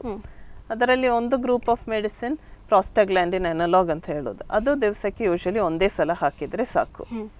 ಬೇರೆ ಕೆಲವು ಮದ್ದುಗಳು ಕೆಲವೊಮ್ಮೆ ಮೂರು ಸಲ ಹಾಕಬೇಕಾಗ್ತದೆ. ಓಕೆ. ಸೊ ಯೂಶಲಿ ನಾವು ಟ್ರೀಟ್ಮೆಂಟ್ ಸ್ಟಾರ್ಟ್ ಮಾಡುವಾಗ ಅರ್ಲಿ ಗ್ಲಾಕೊಮಲ್ಲಿ ಟ್ರೀಟ್ಮೆಂಟ್ ಸ್ಟಾರ್ಟ್ ಮಾಡುವಾಗ ಒಂದೇ ಮದ್ದು ಹಾಕೋದು. ಡೈಲಿ ಒಂದೇ ಟೈಮ್ ಹಾಕುವಂಥದ್ದು ಮದ್ದು. ಅದರಲ್ಲಿ ಕಂಟ್ರೋಲ್ ಆಗಲಿಲ್ಲ ಅಂದರೆ ನಾವು ಇನ್ನೂ ಫ್ರೀಕ್ವೆಂಟ್ ಆಗಿ ಆಗಿ ಹಾಕಬೇಕಾದಂಥ ಡ್ರಾಪ್ಸ್ ಹಾಕೋದು. ಸೊ ಒಂದು ಎರಡು ಮೂರು ಮದ್ದಲ್ಲಿ ಪ್ರೆಷರ್ ಕಂಟ್ರೋಲ್ ಆಗ್ತಾ ಇಲ್ಲ ಇಲ್ಲ ಡ್ಯಾಮೇಜ್ ಜಾಸ್ತಿ ಆಗ್ತಾ ಉಂಟು ಅಂತ ಗೊತ್ತಾದರೆ ನಾವು ಯೂಶಲಿ ಅದಕ್ಕೆ ಅವರಿಗೆ ಸರ್ಜರಿ ಅಡ್ವೈಸ್ ಮಾಡೋದು ಓಕೆ ಮತ್ತೆ ಡಾಕ್ಟರ್ ಟ್ರೀಟ್ಮೆಂಟ್ ಆದ ನಂತರ ಅವರಿಗೆ ದೃಷ್ಟಿ ಪುನಃ ಬರ್ತದ? ಇಲ್ಲ. ಗ್ಲಾಕೋಮದಲ್ಲಿ ಹೋದ ದೃಷ್ಟಿ ಯಾವತ್ತೂ ವಾಪಸ್ ಬರುವುದಿಲ್ಲ. ಯಾಕೆಂದರೆ ಇದು ನರಕ್ಕೆ ಡ್ಯಾಮೇಜ್ ಆಗುವಂಥದ್ದು ಕಾಯಿಲೆ. ಓಕೆ ಸೊ ಯೂಶಲಿ ನರಕ್ಕೆ ಡ್ಯಾಮೇಜ್ ಆದರೆ ಅದು ಹೋದದ್ದು ರೀಜನರೇಟ್ ಆಗೋದಿಲ್ಲ ಸೊ ಅದಕ್ಕೆ ಇದು ಗ್ಲಾಕೋಮಾ ಸ್ವಲ್ಪ ಸ್ವಲ್ಪ ಡೇಂಜರಸ್ ಅಂತ ಹೇಳ್ಬೋದು. ಅದು ಬೇಗ ಕಂಡು ಹಿಡಿಬೇಕು ಬೇಗ ಟ್ರೀಟ್ಮೆಂಟ್ ಸ್ಟಾರ್ಟ್ ಮಾಡಬೇಕು ಇಲ್ಲಾಂದರೆ irreversible visual loss vision lose ಆಗ್ಬೋದು. ಓಕೆ ಹಾಗಾದ್ರೆ ಗ್ಲಾಕೋಮಾವನ್ನ ಪ್ರಿವೆಂಟ್ ಮಾಡ್ಬೋದಾ? ಹೇಗೆ ಪ್ರಿವೆಂಟ್ ಮಾಡ್ಬೋದು ಅಂತ? ಗ್ಲಾಕೋಮಾಗೆ ಪ್ರಿವೆನ್ಷನ್ ಇಲ್ಲ. ನಿಮಗೆ ಬರ್ ಬರಲಿಕ್ಕಿದ್ರೆ ಅದು ಬರ್ತದೆ. ಬಟ್ ನಿಮಗೆ ಗೊತ್ತುಂಟು, ಯಾರಿಗೆಲ್ಲ ರಿಸ್ಕ್ ಫ್ಯಾಕ್ಟರ್ಸ್ ಜಾಸ್ತಿ ಇರುವುದು. ವಯಸ್ಸು ಜಾಸ್ತಿ ಆಗುವಾಗ, ನಲ್ವತ್ತು ವಯಸ್ಸು ಜ, ನಂತರ ಎಲ್ಲರೂ ತಮ್ಮ ಕಣ್ಣನ್ನು ಒಂದ್ಸಲ ಟೆಸ್ಟ್ ಮಾಡಿಸ್ಬೇಕು. ಹೇಗೆ ನಲವತ್ತು ವಯಸ್ಸು ನಂತರ ಎಲ್ಲರೂ ತಮ್ಮ ಬಿ ಪಿ ಶುಗರ್ ಎಲ್ಲ ಒಂದ್ಸಲ ಚೆಕ್ ಮಾಡ್ತಿರಲ್ಲ, ಹಾಗೆಯೇ ಕಣ್ಣಿನ ಪ್ರೆಷರ್ ಕೂಡ ಒಂದ್ಸಲ ಚೆಕ್ ಮಾಡಿಸ್ಬೇಕು. ಕಣ್ಣಿನ ನರ, ಅದು ಸ್ಪೆಷಲ್ ಲೆನ್ಸ್ ಅದು ಅಷ್ಟಂತ ಕಾಂಪ್ಲಿಕೇಟೆಡ್ ಪ್ರೊಸೀಜರ್ ಅಲ್ಲ. ಲೆನ್ಸಲ್ಲಿ ಸಹ ನೋಡಿ, ನರ ಸಹ ಸರಿ ಇದೆಯಾ ಪ್ರೆಷರ್ ಸರಿ ಇದೆಯಾ, ಇದೆರಡು ಟೆಸ್ಟ್ ಒಂದ್ಸಲ ಮಾಡಿಸ್ಲೇಬೇಕು. ನರದಲ್ಲಿ ಪ್ರಾಬ್ಲಮ್ ಇದ್ದರೆ ಮಾತ್ರ ಬೇರೆ ಇನ್ವೆಸ್ಟಿಗೇಷನ್ ಸ್ಕ್ಯಾನ್ ಎಲ್ಲ ಮಾಡೋದು ಸೊ ನರ ಮತ್ತು ಪ್ರೆಷರ್ ಎಲ್ಲರೂ ಚೆಕ್ ಮಾಡಿಸ್ಬೇಕು ಒಂದ್ಸಲ. ಓಕೆ ಡಾಕ್ಟರ್ ಹಾಗೆ ಗ್ಲೋಕೋಮಾದಲ್ಲಿ ಏನಾದರೂ ಡಿಫ್ರೆಂಟ್ ಫಾರ್ಮ್ಸ್ ಏನಾದರೂ ಇದೆಯಾ ಟೈಪ್ಸ್ ಆಫ್ ಗ್ಲೋಕೋಮಾದ ಬಗ್ಗೆ ಮಾತಾಡೋದಾದ್ರೆ ಎಸ್ ಗ್ಲೋಕೋಮಾದಲ್ಲಿ ನಾವು ಟೂ ಟೈಪ್ಸ್ ಆಫ್ ಗ್ಲೋಕೋಮ್ ಅಂತ ಹೇಳ್ತೇವೆ. ಆಂಗಲ್ ಕ್ಲೋಷರ್ ಗ್ಲೋಕೋಮಾ ಮತ್ತೆ ಓಪನ್ ಆಂಗಲ್ ಗ್ಲೋಕೋಮಾ ಕಣ್ಣು ಒಳಗೆದು ನೀರು ಹೊರಗೆ ಹರಿಲಿಕ್ಕೆ ಕಣ್ಣಿನದು angle of the anterior chamber ಕಣ್ಣಿನ ಕರಿಗುಡ್ಡೆ ಮತ್ತೆ ಕಣ್ಣಿನದು ಐರಿಸ್ ಕಣ್ಣಿನದು ಒಂದು ಪರ್ದೆ ಉಂಟು. ಅದು ಮಧ್ಯದಲ್ಲಿ ಇರುವ ಗ್ಯಾಪಿಗೆ ನಾವು angle of the anterior chamber ಅಂತ ಹೇಳೋದು. ಸೊ ಇದು ಆಂಗಲ್ ಓಪನ್ ಇದ್ದು ಕಣ್ಣಿನ ಪ್ರೆಷರ್ ಜಾಸ್ತಿ ಆದರೆ ಅದಕ್ಕೆ ನಾವು ಓಪನ್ ಆಂಗಲ್ ಗ್ಲೋಕೋಮ ಅಂತ ಹೇಳೋದು. ಕೆಲವೊಮ್ಮೆ ಇದು ಐರಿಸ್ ಮುಂದೆ ಬಂದು ಆಂಗಲ್ ಅನ್ನು ಕ್ಲೋಸ್ ಮಾಡ್ತದೆ. ಸೊ ಅಂಥ ಸಂದರ್ಭದಲ್ಲಿ ಪ್ರೆಷರ್ ಜಾಸ್ತಿ ಆದರೆ ಅದಕ್ಕೆ ಆಂಗಲ್ ಕ್ಲೋಷರ್ ಗ್ಲೋಕೋಮ ಅಂತ ಹೇಳೋದು. ಓಪನ್ ಆ್ಯಂಗಲ್ ಗ್ಲಾಕೋಮಾದಲ್ಲಿ ಯಾವತ್ತು ಏನು ಲಕ್ಷಣಗಳು ಇರುವುದಿಲ್ಲ. ಯೂಶಲಿ ಯಾವುದೂ ಲಕ್ಷಣಗಳು ಇರುವುದಿಲ್ಲ. ಬಟ್ ಆಂಗಲ್ ಕ್ಲೋಷರ್ ಗ್ಲಾಕೋಮಾದಲ್ಲಿ ಕೆಲವೊಮ್ಮೆ ಲಕ್ಷಣಗಳು ಇರಬಹುದು. ಓಕೆ ಒಂದು ಮೂವತ್ತು ಪರ್ಸೆಂಟ್ ಜನರು ಆಂಗಲ್ ಕ್ಲೋಷರ್ ಗ್ಲಾಕೋಮಾ ಇದ್ದವರಿಗೆ ಸಡನ್ ಆಗಿ ಪ್ರೆಷರ್ ಒತ್ತಡ ಸಡನ್ ಆಗಿ ಜಾಸ್ತಿ ಆಗ್ತದೆ. ಸೊ ಸಡನ್ ಆಗಿ ಪ್ರೆಷರ್ ಜಾಸ್ತಿ ಆದರೆ ಕಣ್ಣಲ್ಲಿ ತುಂಬಾ ನೋವು ಆಗ್ಬೋದು ಕಣ್ಣು ಕೆಂಪಾಗ್ಬೋದು ಬೆಳಕು ನೋಡುವಾಗ ಅದ ಸುತ್ತಲೂ ಬಣ್ಣ ಬಣ್ಣದ ರಿಂಗ್ಸ್ ಕಾಣ್ಬೋದು. ತುಂಬಾ ನೋವಂದ್ರೆ ಕೆಲವರಿಗೆ ವಾಂತಿ ಬರುವುದು ತುಂಬಾ ತಲೆನೋವು ಹೇಳಲಿಕ್ಕೆ ಬೆಡ್ಡಿಂದ ಹೇಳಲಿಕ್ಕೂ ಆಗೋದಿಲ್ಲ ಅಷ್ಟು ನೋವು ಇರ್ಬೋದು. ಸೊ ಕಣ್ಣಲ್ಲಿ ಎನಿ ಟೈಮ್ ಕಣ್ಣು ಕೆಂಪಾದ್ರೆ ನೋವಾದ್ರೆ ಬೆಳಕಿನ ಸುತ್ತು ಬಣ್ಣ ಬಣ್ಣ ಕಾಣುವುದಾದ್ರೆ ಇಮಿಡಿಯೇಟ್ ಆಗಿ ಕಣ್ಣಿನ ಡಾಕ್ಟರ್ ಹತ್ರ ಹೋಗಬೇಕು. ಇದು ಆಂಗಲ್ ಕ್ಲೋಶ ಗ್ಲೋಕೋಮ ಕೂಡ ಫ್ಯಾಮಿಲಿಯಲ್ಲಿ ರನ್ ಆಗುವಂಥದ್ದು ಒಂದು ಕಾಯಿಲೆ. ಸೊ ನಿಮ್ಮ ಅಕ್ಕ ಅಣ್ಣ ಯಾರಿಗಾದರೂ ಆಂಗಲ್ ಕ್ಲೋಷರ್ ಗ್ಲೋಕೋಮಾ ಇದ್ದರೆ ನೀವು ನಿಮ್ಮ ಕಣ್ಣನ್ನು ಒಂದ್ಸಲ ಟೆಸ್ಟ್ ಮಾಡಿಸ್ಬೇಕು. ಗ್ಲೋಕೋಮಾ ಮತ್ತು ನಿರ್ವಹಣೆ ಇದ್ರ ಬಗ್ಗೆ ಮಾತಾಡ್ತಾ ಇದ್ದಾರೆ. ಡಾಕ್ಟರ್ ನಾವು ವಿರಾಮಕ್ಕಿಂತ ಮೊದಲು ಆಂಗಲ್ ಕ್ಲೋಷರ್ ಗ್ಲೋಕೋಮಾ ಇದ್ರ ಬಗ್ಗೆ ನಾವು ಮಾತಾಡ್ತಾ ಇದ್ವಿ. ಡಾಕ್ಟರ್ ಹೆಚ್ಚಾಗಿ ಆಂಗಲ್ ಕ್ಲೋಷರ್ ಗ್ಲೋಕೋಮಾ ಯಾರಿಗೆ ಬರ್ತದೆ ಅಂತ?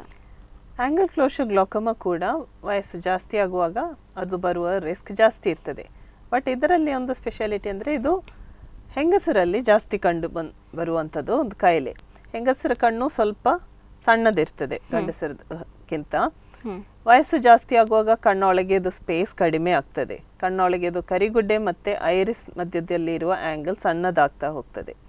ಮತ್ತೆ ದಪ್ಪ ಗ್ಲಾಸ್ ಹಾಕುವವರು ಪ್ಲಸ್ ಪವರ್ ಗ್ಲಾಸ್ ಹಾಕುವವರು ಲಾಂಗ್ ಸೈಟೆಡ್ನೆಸ್ ಇಂತ ಇದ್ದವರಿಗೆ ಅವರ ಕಣ್ಣು ಸ್ವಲ್ಪ ಸಣ್ಣದಿರ್ತದೆ. ಸೊ ಯಾರ ಕಣ್ಣು ಸ್ವಲ್ಪ ಸಣ್ಣದಿದೆ ಅವರಿಗೆ ಆಂಗಲ್ ಕ್ಲೋಷರ್ ಗ್ಲಾಕೋಮಾ ಡೆವಲಪ್ ಆಗುವ ಚಾನ್ಸಸ್ ಸ್ವಲ್ಪ ಜಾಸ್ತಿ ಇರ್ತದೆ. ಓಕೆ ಡಾಕ್ಟರ್ ಹಾಗೆ ಒಬ್ರು ಕಾಲರ್ ರೆಡಿ ಇದ್ದಾರೆ. ಇದಕ್ಕೆ ಬಗ್ಗೆ ಟ್ರೀಟ್ಮೆಂಟ್ ಬಗ್ಗೆ ನಾವು ಮಾತಾಡೋಣ. ಇವ್ರ ಜೊ ಕಾಲರ್ ಜೊತೆ ಫಸ್ಟ್ ಮಾತಾಡಿ. ಹಲೋ ಹಲೋ ಓಕೆ ಸರ್ ಪ್ರಶ್ನೆಯನ್ನ ಕೇಳಿ. ಆ, ಈ ರೋಗದ ಲಕ್ಷಣ ಏನು ಮತ್ತೆ ಯಾವ ಆಹಾರ ಈ ರೋಗವನ್ನು ಕಡಿಮೆ ಮಾಡಬಹುದು ಅಂತ ಗ್ಲೋಕೋಮಾ ರೋಗ ಆ, ಈ ರೋಗದ ಲಕ್ಷಣಗಳೇನು ಅಂತ ಕೇಳ್ತಾ ಇದ್ದೀರಾ? ಏನು ರೀತಿಯ ಬದಲಾವಣೆ ಸರ್ ಮತ್ತೆ ಮತ್ತೊಮ್ಮೆ ಕೇಳಿ ನಿಮ್ಮ ಪ್ರಶ್ನೆನ. ಲಕ್ಷಣಗಳು ಗೊತ್ತಾಯ್ತು ಮತ್ತೆ ನೆಕ್ಸ್ಟ್ ಒಂದು ಕ್ವಶನ್ ಕೇಳಿದ್ದೀರಾ? ಏನು?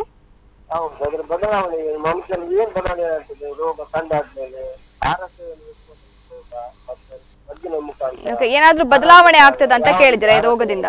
Okay okay sir. ನಮಸ್ಕಾರ ಸರ್.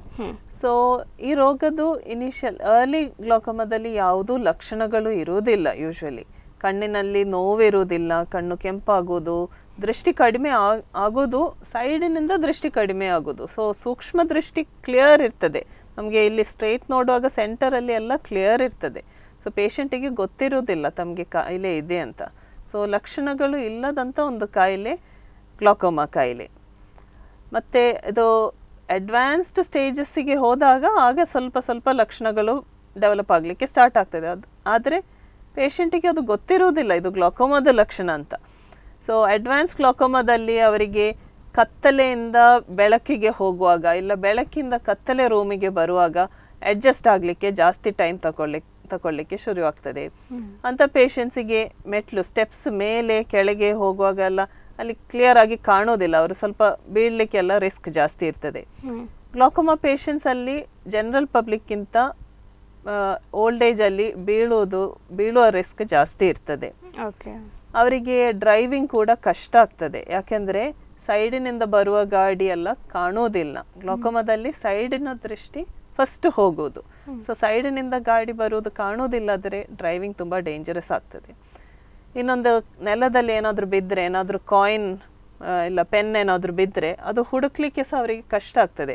ಯಾಕೆಂದರೆ ಅವರಿಗೆ ಸೆಂಟರ್ ಮಧ್ಯದ ಭಾಗ ಮಾತ್ರ ಕಾಣ್ತದೆ. ಸೈಡಿನಲ್ಲಿ ಏನಾದರೂ ಕಾಯಿನ್ ಬಿದ್ದರೆ ಅದು ಕಾಣೋದಿಲ್ಲ. ಸೊ ಇಂಥದ್ದು ಲಕ್ಷಣಗಳು ಅಡ್ವಾನ್ಸ್ಡ್ ಗ್ಲಾಕೋಮಾ ಪೇಷಂಟಿಗೆ ಇರ್ತದೆ. ಸೊ ತಮಗೆ ಯಾವುದಾದ್ರೂ ಅಂಥದ್ದು ವೇಗ ಲಕ್ಷಣಗಳು ಇದ್ದರೆ ಒಂದ್ಸಲ ಕಣ್ಣು ಟೆಸ್ಟ್ ಮಾಡಿಸ್ಬೇಕು ಎಲ್ಲರೂ. ಓಕೆ ಡಾಕ್ಟರ್ ಟ್ರೀಟ್ಮೆಂಟ್ ಬಗ್ಗೆ ನಾವು ಡಿಸ್ಕಸ್ ಮಾಡೋಣ. ಟ್ರೀಟ್ಮೆಂಟ್ ಯಾವ ರೀತಿ? ಏನಾದ್ರು ಡಿಫ್ರೆಂಟ್ ಇರ್ತದೆ ಆ ಟ್ರೀಟ್ಮೆಂಟ್ ಹೌದು ನಾವು ಆ್ಯಂಗಲ್ ಕ್ಲೋಶೋ ಗ್ಲಾಕೋಮಾ ಬಗ್ಗೆ ಮಾತಾಡ್ತಾ ಇದ್ದದ್ದು. ಹೌದು. ಆ್ಯಂಗಲ್ ಕ್ಲೋಶೋ ಗ್ಲಾಕೋಮಾದಲ್ಲಿ ಒಂದು ಎಕ್ಸ್ಟ್ರಾ ಟ್ರೀಟ್ಮೆಂಟ್ ಅವೈಲೇಬಲ್ ಅವೈಲಬಲ್ ಇರುವುದು ಲೇಸರ್ ಚಿಕಿತ್ಸೆ. ಇದು ಲೇಸರ್ ಐರಿಡಾಟಮಿ ಅಂತ ಹೇಳೋದು. ಕಣ್ಣಿನದು ಪರ್ದೆ ಐರಿಸ್ ಅಂತ ಕರೆಯೋದು. ಐರಿಸ್ನಲ್ಲಿ ಒಂದು ಸಣ್ಣ ತೂತ ಮಾಡುವುದಕ್ಕೆ ನಾವು ಐರಿಡಾಟಮಿ ಅಂತ ಕರೆಯೋದು. ಸೊ ಐರಿಡಾಟಮಿ ಲೇಸರಲ್ಲಿ ಮಾಡೋದು ಸೊ ಕಣ್ಣು ಟೆಸ್ಟ್ ಮಾಡುವಾಗ ನಾವು ಒಂದು ಸ್ಲಿಟ್ ಲ್ಯಾಂಪ್ ಅಂತ ಮೆಷಿನಲ್ಲಿ ಕಣ್ಣು ಟೆಸ್ಟ್ ಮಾಡೋದು ಅಂಥದ್ದೇ ಮೆಷಿನ್ನಲ್ಲಿ ಕುತ್ಕೊಂಡು ಲೇಸರ್ ಮಾಡುವುದು. ಅದು ಸಿಂಪಲ್ ಪ್ರೊಸೀಜರ್. ಸೊ ಐರಿಸ್ನಲ್ಲಿ ತೂತ ಮಾಡಿದರೆ ಕೆಲವೊಮ್ಮೆ ಕಣ್ಣೊಳಗೆ ಇದು ನೀರು ಹರಿಯೋ ಆ್ಯಂಗಲ್ ಓಪನ್ ಆಗ್ತದೆ. ಆ್ಯಂಗಲ್ ಕ್ಲೋಶ ಗ್ಲಾಕೋಮಾ ಅದಕ್ಕೆ main treatment iridotomy treatment okay iridotomy ಮಾಡಿದ ನಂತರವೂ ಕೆಲವೊಮ್ಮೆ ಕೆಲವರಿಗೆ ಕಣ್ಣಿನ ಒತ್ತಡ ಕಡಿಮೆ ಆಗೋದಿಲ್ಲ. ಅಂಥವರಿಗೆ ಅಡ್ವಾನ್ಸ್ ಗ್ಲಾಕೋಮಾ ಇದ್ದವರಿಗೆ ಅಂಥವರಿಗೆ ಪುನಃ ನಾವು ಕಣ್ಣಿಗೆ ಡ್ರಾಪ್ಸ್ ಸ್ಟಾರ್ಟ್ ಮಾಡಬೇಕಾಗ್ತದೆ. ಮತ್ತು ಡ್ರಾಪ್ಸಲ್ಲಿ ಕಂಟ್ರೋಲ್ ಆಗಲಿಲ್ಲ ಅಂದರೆ ಕೆಲವೊಮ್ಮೆ ಸರ್ಜರಿ ಅಡ್ವೈಸ್ ಮಾಡಬೇಕಾಗ್ತದೆ. ಸೊ ಫೈನಲಿ ಟ್ರೀಟ್ಮೆಂಟ್ ಎಲ್ಲರಿಗೂ ಎಲ್ಲ ಗ್ಲಾಕೋಮಾ ಪೇಷಂಟ್ಸಿಗೆ ಸೇಮ್ ಡ್ರಾಪ್ಸ್ ಮೆಡಿಸಿನ್ಸ್ ಡ್ರಾಪ್ಸ್ ಮೂಲಕ ಎಲ್ಲ surgery but angle closure glaucoma ಪೇಷಂಟ್ಸಿಗೆ ಒಂದು ಅಡಿಷ್ನಲ್ ಟ್ರೀಟ್ಮೆಂಟ್ ಅವೈಲಬಲ್ ಇರೋದು ಲೇಸರ್ ಐರಿಡಾಟಮಿ ಓಕೆ ಡಾಕ್ಟರ್ ಇನ್ನು ನಾರ್ಮಲ್ ಐ ಪ್ರೆಷರ್ ಬಗ್ಗೆ ನಾವು ಮಾತಾಡಿದ್ರೆ ಎಷ್ಟಿರಬೇಕು ಡಾಕ್ಟರ್ ನಾರ್ಮಲಿ ಎಲ್ಲರಿಗೂ ಕಣ್ಣಲ್ಲಿ ಪ್ರೆಷರ್ ಇದೆ. ನಾರ್ ಕಣ್ಣು ಒಂದು ಬಾಲ್ ಥರ ಬಾಲ್ ಶೇಪ್ ಕರೆಕ್ಟಾಗಿ ಇರಬೇಕಾದ್ರೆ ಕಣ್ಣೊಳಗೆ ನಾರ್ಮಲ್ ಆಗಿ ಪ್ರೆಷರ್ ಇರಬೇಕು. ಈ ನಾರ್ಮಲ್ ಪ್ರೆಷರ್ ಒಂದು ಟೆನ್ನಿಂದ ಟ್ವೆಂಟಿ ಒನ್ ಆ ರೇಂಜಲ್ಲಿ ಇರೋದು. ಸೊ ಟೆನ್ನಿಂದ ಟ್ವೆಂಟಿ ಒನ್ ನಾರ್ಮಲ್ ರೇಂಜ್ ಅದಕ್ಕಿಂತ ಪ್ರೆಷರ್ ಜಾಸ್ತಿ ಆದರೆ ಅದು ಕಣ್ಣಿನ ನರದ ಮೇಲೆ ಒತ್ತಡ ಹಾಕಿ ಅಲ್ಲಿ ನರ ಡ್ಯಾಮೇಜ್ ಆಗೋದು. ಇಲ್ಲ ಪ್ರೆಷರ್ ಜಾಸ್ತಿ ಆದರೆ ಕೆಲವೊಮ್ಮೆ ಕಣ್ಣಿನ ನರಕ್ಕೆ ಹೋಗುವಂಥದ್ದು ಬ್ಲಡ್ ಸಪ್ಲೈ ಸಹ ಸ್ವಲ್ಪ ಕಡಿಮೆ ಆಗ್ಬೋದು. ಆ ಹಾಗೆ ಕಣ್ಣಿನ ನರ ಡ್ಯಾಮೇಜ್ ಆಗೋದು. ಸೊ ನಾರ್ಮಲ್ ಪ್ರೆಷರ್ ಟ್ವೆಂಟಿ ಒನ್ವರೆಗೆ ಇರೋದು. ಅದಕ್ಕಿಂತ ಜಾಸ್ತಿ ಇದ್ದರೆ ಸ್ವಲ್ಪ ಗ್ಲಾಕೋಮಾ ಇರುವ ಚಾನ್ಸಸ್ ಜಾಸ್ತಿ ಆಗ್ತದೆ. ಓಕೆ ಡಾಕ್ಟರ್ ಹಾಗೆ ಏನಾದರೂ ರಿಸೋರ್ಸಸ್ ಅವೈಲೇಬಲ್ ಉಂಟಾ? ಅಂದರೆ ಗ್ಲೋಕೋಮಾ ಪೇಷಂಟ್ಗೆ ಹೆಲ್ಪ್ ಆಗಲಿಕ್ಕೆ ಏನಾದರೂ ಆ್ಯಪ್ ಆಗಿರ್ಬೋದು ಬೇರೆ ರೀತಿಯಲ್ಲಿ ಏನಾದರೂ ರಿಸೋರ್ಸಸ್ ಹೌದು ಇದು ಗ್ಲೋಕೋಮಾ ಕಾಯಿಲೆ ತಮಗೆ ಉಂಟು ಅಂತ ನಾವು ಡಾಕ್ಟರ್ಸ್ ಪೇಷಂಟಿಗೆ ಹೇಳುವಾಗ ಪೇಷಂಟಿಗೆ ತುಂಬ ಕನ್ಫ್ಯೂಷನ್ ಯಾಕೆಂದರೆ ಇದೊಂದು ಲಕ್ಷಣ ಇಲ್ಲದ ಡಿಸೀಸ್ ಅವರಿಗೆ ಅದು ಅಕ್ಸೆಪ್ಟ್ ಮಾಡಲಿಕ್ಕೆ ಸ್ವಲ್ಪ ಕಷ್ಟ ಇರ್ತದೆ. ಸೊ ಇಂಥ ಸಂದರ್ಭದಲ್ಲಿ ಅವರು ಆಲ್ರೆಡಿ ಗ್ಲಾಕೋಮಾ ಕಾಯಿಲೆ ಇದ್ದವರ ಹತ್ರ ಸ್ವಲ್ಪ ಏನಾದರೂ ಮಾತಾಡಿದರೆ ಅವರಿಗೆ ಸ್ವಲ್ಪ ಕ್ಲಾರಿಟಿ ಸಿಗ್ಬೋದು. ಟೆನ್ಷನ್ಸ್ ಎಲ್ಲ ಕಡಿಮೆ ಆಗ್ಬೋದು. ಸೊ ಇದಕ್ಕೋಸ್ಕರ ನಮ್ಮ ಹಾಸ್ಪಿಟಲಲ್ಲಿ ಗ್ಲಾಕೋಮಾ ಪೇಷಂಟ್ ಸಪೋರ್ಟ್ ಗ್ರೂಪ್ ನಾವು ಕ್ರಿಯೇಟ್ ಮಾಡಿದ್ದೇವೆ. ಈ ಸಪೋರ್ಟ್ ಗ್ರೂಪಲ್ಲಿ ಮೇನ್ ಆಗಿ ಮೆಂಬರ್ಸ್ ಇರುವವರು ಬೇರೆ ಎಲ್ಲರೂ ಗ್ಲಾಕೋಮಾ ಪೇಷಂಟ್ಸೇ ಸೊ ಹೊಸ ಡಯಾಗ್ನೋಸ್ ಆದ ಗ್ಲಾಕೋಮಾ ಪೇಷಂಟ್ ಬೇರೆ ಪೇಷಂಟ್ಸಿಗೆ ಅಪ್ರೋಚ್ ಮಾಡ್ಬೋದು. ಸೊ ನೀವು ಈ ಗ್ರೂಪಿಗೆ ರಿಜಿಸ್ಟರ್ ಆದರೆ ಬೇರೆಯವ್ರ ಹತ್ರ ಅಪ್ರೋಚ್ ಮಾಡಿ ಫೋನಲ್ಲಿ ಇಲ್ಲ ಡೈರೆಕ್ಟಾಗಿ ಮಾತಾಡ್ಬೋದು. ಈ ಗ್ಲಾಕೋಮಾ ಸಪೋರ್ಟ್ ಗ್ರೂಪ್ ರೆಗ್ಯುಲರ್ ಆಗಿ ಮೀಟ್ ಆಗಲಿಕ್ಕೆ ಪ್ಲಾನ್ಸ್ ಇತ್ತು. ಬಟ್ ಕೋವಿಡ್ ಇದ್ದ ಇದ್ದ ಕಾರಣ ನಮಗೆ ಮೀಟ್ ಆಗ್ಲಿಕ್ಕೆ ಆಗಲಿಲ್ಲ. ಇನ್ನು ಮುಂದೆ ನಾವು regular meetings may be once in six months meetings conduct ಮಾಡ್ತೇವೆ ಆಗ ಎಲ್ಲ ಪೇಷಂಟ್ಸ್ ಇಂಟರಾಕ್ಟ್ ಮಾಡ್ಬೋದು. ಬರೀ ಗ್ಲಾಕೋಮಾ ಡಯಾಗ್ನೋಸಿಸ್ ಟೈಮಲ್ಲಿ ಮಾತ್ರ ಅಲ್ಲ ಸಪೋರ್ಟ್ ಬೇಕಾದದ್ದು.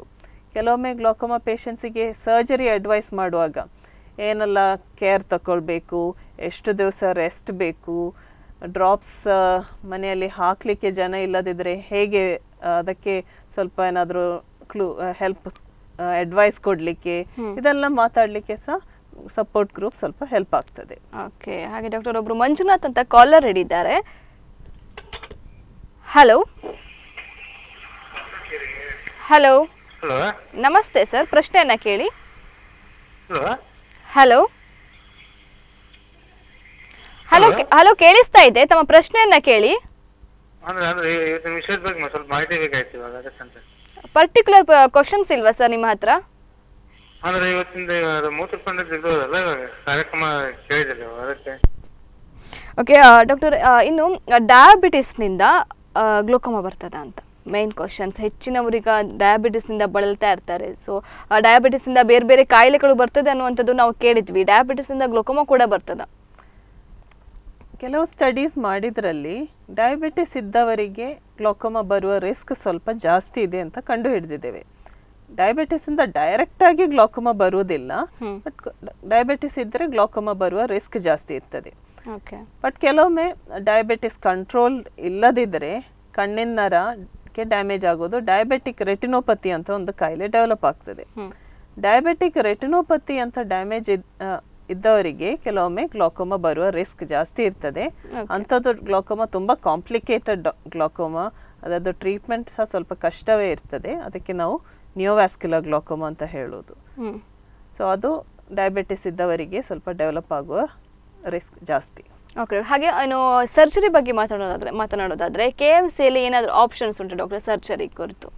ಸೊ ಸರ್ಜಿಕಲ್ ಟ್ರೀಟ್ಮೆಂಟ್ ಗ್ಲಾಕೋಮಾಗೆ ಇರೋದು trabeculectomy glaucoma tube shunt surgery ಮತ್ತು minimally invasive glaucoma surgery trabeculectomy usually ಎಲ್ಲ ಕಡೆ ಮಾಡ್ತಾರೆ ಎಲ್ಲ ಗ್ಲಾಕೋಮಾ ಸರ್ಜನ್ಸ್ ಮಾಡ್ತಾರೆ.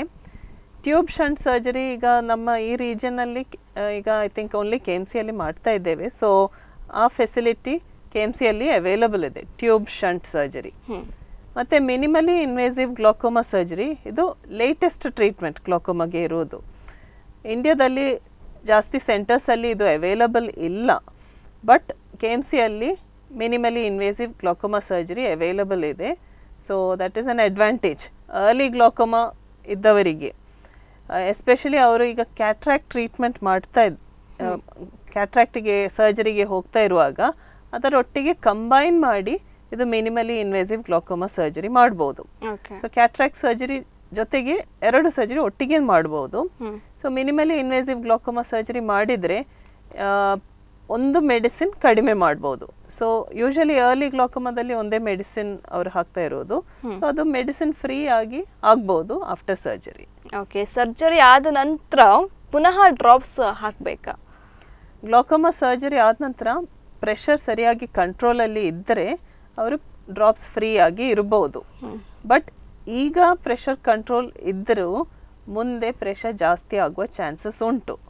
ಯಾಕಂದರೆ ಇದು ಗ್ಲೋಕೋಮ ಲೈಫ್ ಲಾಂಗ್ ಕಾಯಿಲೆ. ಮುಂದೆ ಸಹ ಪ್ರೆಷರ್ ಜಾಸ್ತಿ ಆಗ್ಬೋದು. ಸೊ ಒಂದ್ಸಲ ಆಪರೇಷನ್ ಆದರೂ ಪೇಷಂಟ್ ಫಾಲೋ ಅಪ್ಪಿಗೆ ಬರಬೇಕು. ವರ್ಷದಲ್ಲಿ ಒಂದು ಅರ್ಲಿ ಗ್ಲೋಕೋಮ ಕೇಸಸ್ ಆದರೆ ವರ್ಷಕ್ಕೆ ಒಂದು ಎರಡು ಸಲ ಆದರೂ ಚೆಕಪ್ಪಿಗೆ ಬರಬೇಕಾಗ್ತದೆ. ಸೊ ಫ್ಯೂಚರಲ್ಲಿ ಈಗ ಆಪರೇಷನ್ ಆಗಿ ಒಂದು ಫೈವ್ ಸಿಕ್ಸ್ ಸೆವೆನ್ ಇಯರ್ಸ್ ನಂತರ ಪ್ರೆಷರ್ ಜಾಸ್ತಿ ಆದರೆ ಕೆಲವೊಮ್ಮೆ ಡ್ರಾಪ್ ಸ್ಟಾರ್ಟ್ ಮಾಡಬೇಕು.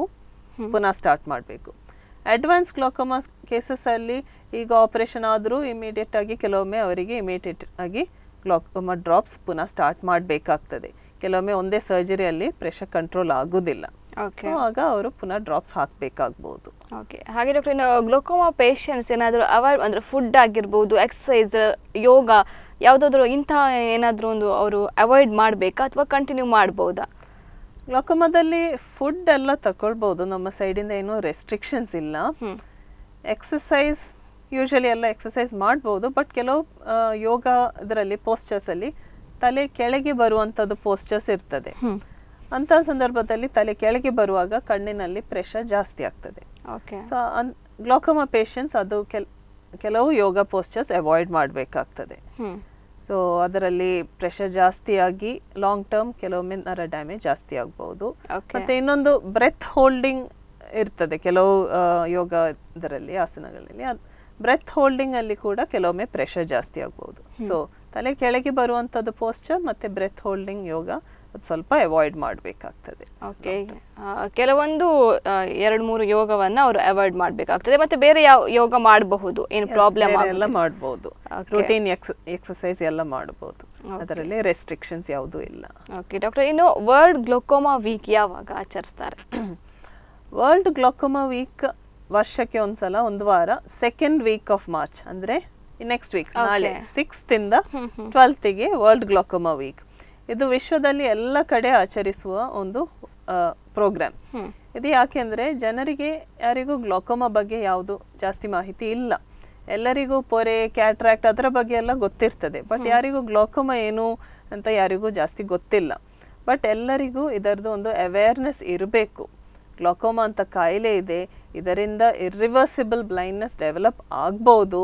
ಎಲ್ಲರೂ ತಮ್ಮ ಕಣ್ಣನ್ನು ಒಂದ್ಸಲ ಫಾರ್ಟಿ ಇಯರ್ಸ್ ನಂತರ ಟೆಸ್ಟ್ ಮಾಡಿಸಬೇಕು ಅಂತ ಅವೇರ್ನೆಸ್ ಕ್ರಿಯೇಟ್ ಮಾಡಲಿಕ್ಕೆ ವಿಶ್ವದಲ್ಲಿ ಎಲ್ಲ ಕಡೆ ಒಂದೇ ಟೈಮಲ್ಲಿ ಸೆಲೆಬ್ರೇಟ್ ಆಗುವಂಥದ್ದು ಒಂದು program world glaucoma week second week of March okay ನಾಳೆ ಆರನೇ ತಾರೀಕಿನಿಂದ ಹನ್ನೆರಡನೇ ತಾರೀಕಿನ ತನಕ ವರ್ಲ್ಡ್ ಗ್ಲೋಕೋಮಾ ವೀಕ್ ಅಂತ ಆಚರಿಸ್ತಾರೆ. ಅದೇ ರೀತಿ ಈ ಬಾರಿ ಕೆ ಎಂ ಸಿಂದ ಏನಾದರೂ ಪ್ರೋಗ್ರಾಮ್ಸ್ ಪ್ಲ್ಯಾನ್ ಇದೆ ಅಂತ? ಹೌದು. ವರ್ಲ್ಡ್ ಗ್ಲೋಕೋಮಾ ವೀಕ್ಗೋಸ್ಕರ ನಮ್ಮ ಕೆ ಎಂ ಸಿಯಲ್ಲಿ ಈ ಫುಲ್ ವೀಕ್ ಅಂದರೆ ಏಳನೇ ತಾರೀಕು ಸೋಮವಾರದಿಂದ ಶನಿವಾರವರೆಗೆ ಡೈಲಿ ನಾವು ಫ್ರೀಯಾಗಿ ಗ್ಲಾಕೋಮಾ ಸ್ಕ್ರೀನಿಂಗ್ ಕ್ಯಾಂಪನ್ನು ಕಂಡಕ್ಟ್ ಮಾಡ್ತಾ ಇದ್ದೇವೆ. ಸೊ ಈ ಕ್ಯಾಂಪಿನಲ್ಲಿ ಯಾರೆಲ್ಲ ಟೆಸ್ಟಿಗೆ ಬರಬೇಕು ಅಂದರೆ ಮೇಯ್ನಾಗಿ ಫಾರ್ಟಿ ಇಯರ್ಸ್ ಫಾರ್ಟಿ ವಯಸ್ಸು ನಂತರ ಯಾರು ಸಹ ಬರ್ಬೋದು ಈ ಟೆಸ್ಟಿಗೋಸ್ಕರ ತಮ್ಮ ಕಣ್ಣಿನ ಪ್ರೆಷರ್ ಟೆಸ್ಟ್ ಕಣ್ಣಿನ ನರ ಟೆಸ್ಟ್ ನಾವು ರೂಟೀನಾಗಿ ಎಲ್ಲರಿಗೂ ಮಾಡ್ತೇವೆ. ಪ್ರೆಷರ್ ಮತ್ತು ನರ ಚೆಕ್ ಮಾಡಿದ ನಂತರ ಏನಾದರೂ ಡ್ಯಾಮೇಜ್ ಇಲ್ಲ, ಏನಾದರೂ ಪ್ರಾಬ್ಲಮ್ ಕಂಡು ಹಿಡಿದ್ರೆ ನಾವು ಕಣ್ಣಿನದ್ದು ವಿಜುವಲ್ ಫೀಲ್ಡ್ ಟೆಸ್ಟ್ ಮತ್ತು ಒ ಸಿ ಟಿ ಟೆಸ್ಟ್ ಇದೆಲ್ಲ ಫ್ರೀಯಾಗಿ ಮಾಡ್ತಾ ಇದ್ದೇವೆ. ಸೊ ಸೋಮವಾರ ಸೆವೆಂತ್ ಇಂದ ಏಳನೇ ತಾರೀಕಿನಿಂದ ಹನ್ನೆರಡನೇ ತಾರೀಕುವರೆಗೆ ಬೆಳಿಗ್ಗೆ ಒಂಬತ್ತು ಗಂಟೆಯಿಂದ ಮಧ್ಯಾಹ್ನ ಮೂರು ಗಂಟೆವರೆಗೆ ನಾವು ಫ್ರೀ ಗ್ಲಾಕೋಮಾ ಸ್ಕ್ರೀನಿಂಗ್ ಕ್ಯಾಂಪ್ ಕಣ್ಣಿನ ವಿಭಾಗದಲ್ಲಿ ಕೆ ಎಂ ಸಿದು ಒ ಪಿ ಡಿ ಬ್ಲಾಕ್ನಲ್ಲಿ ಫ್ರೀಯಾಗಿ ಟೆಸ್ಟ್ ಮಾಡ್ತಾ ಇದ್ದೇವೆ. ಓಕೆ ಯಾರು ಕೂಡ ಬರಬಹುದು ಒಂದು ನಲವತ್ತು ವರ್ಷಕ್ಕಿಂತ ಮೇಲ್ಪಟ್ಟವರೇ ಬರಬೇಕಂತ ಉಂಟಾ? ಬೆಟರ್ ನಲ್ವತ್ತು ನಲ್ವತ್ತು ವಯಸ್ಸಿಗಿಂತ ಮೇಲ್ಪಟ್ಟವರು ಬರಲೇಬೇಕು. ಬೇರೆಯವರು ಸಹ ಬರ್ಬೋದು ಒಂದು ರೂಟೀನ್ ಚೆಕಪ್ಪಿಗೆ ನಲ್ವತ್ತು ವಯಸ್ಸಿನವರು ಬರಲೇಬೇಕು ಅದಕ್ಕಿಂತ ಜಾಸ್ತಿ ಇದ್ದವರು ಬರಲೇಬೇಕು. ಇನ್ನೊಬ್ಬರು ಗ್ರೂಪ್ ಯಾರು ಬರಲೇಬೇಕು ಅಂದರೆ ತಮ್ಮ ಫ್ಯಾಮಿಲಿ ಮೆಂಬರ್ಸ್ ಯಾರಿಗಾದರೂ ಗ್ಲಾಕೋಮಾ ಕಾಯಿಲೆ ಇದ್ದರೆ ತಾವು ಕೂಡ ತಮ್ಮ ಕಣ್ಣು ಟೆಸ್ಟ್ ಮಾಡಿಸಲೇಬೇಕು.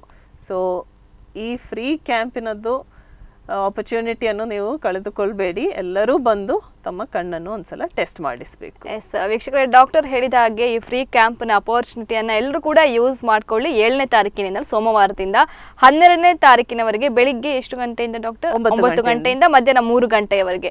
ಬೆಳಿಗ್ಗೆ ಒಂಬತ್ತು ಗಂಟೆಯಿಂದ ಮಧ್ಯಾಹ್ನ ಮೂರು ಗಂಟೆಯವರೆಗೆ ಕ್ಯಾಂಪ್ ಇರ್ತದೆ. ಆ, ಈ ಅಪರ್ಚುನಿಟಿಯನ್ನು ಆದಷ್ಟು ಎಲ್ಲರೂ ಕೂಡ ಯೂಸ್ ಮಾಡ್ಕೊಳ್ಳಿ ಅನ್ನ ಹೇಳಿ ಹೇಳಲಿಕ್ಕೆ ಇಷ್ಟಪಡ್ತೇವೆ. ಅದೇ ಡಾಕ್ಟರ್ ಅದೇ ರೀತಿ ಡಾಕ್ಟರ್ ನಾವು ಕಣ್ಣಿನ ವಿಷಯಕ್ಕೆ ಬಂದಾಗ ಕಣ್ಣನ್ನು ನಾವು ಅಂದರೆ ಕೇರ್ ಮಾಡಬೇಕು. ಅಂದರೆ ಸ್ವಚ್ಛವಾಗಿ ಇಟ್ಕೊಳ್ಬೇಕಾಗಿರೋದು ನಮ್ಮ ಕರ್ತವ್ಯ. ಯಾವ ರೀತಿಯಲ್ಲಿ ಕೇರ್ ಮಾಡ್ಕೊಳ್ಬೇಕು ಡಾಕ್ಟರ್ ಕಣ್ಣನ್ನ? ಈಗ ಎಲ್ಲರಿಗೂ ಬರುವಂಥದ್ದು ಒಂದು ಕಣ್ಣಿನ ಪ್ರಾಬ್ಲಮ್ ಅಂದರೆ ಎಲ್ಲರೂ ಕಂ ಕಂಪ್ಯೂಟರ್ ಎದುರಿಗೆ ಇದ್ದಾರೆ. ಮಕ್ಕಳೆಲ್ಲರೂ ಫೋನ್ ಎಲ್ಲ ಕಂಪ್ಯೂಟರಲ್ಲಿ ಕ್ಲಾಸ್ ಇತ್ತು ಲಾಸ್ಟ್ ಎರಡು ವರ್ಷದಿಂದ. ಸೊ ಅದರಲ್ಲಿ ಕಣ್ಣಿಗೆ ಸ್ವಲ್ಪ ಸ್ಟ್ರೈನ್ ಜಾಸ್ತಿ ಆಗ್ತದೆ.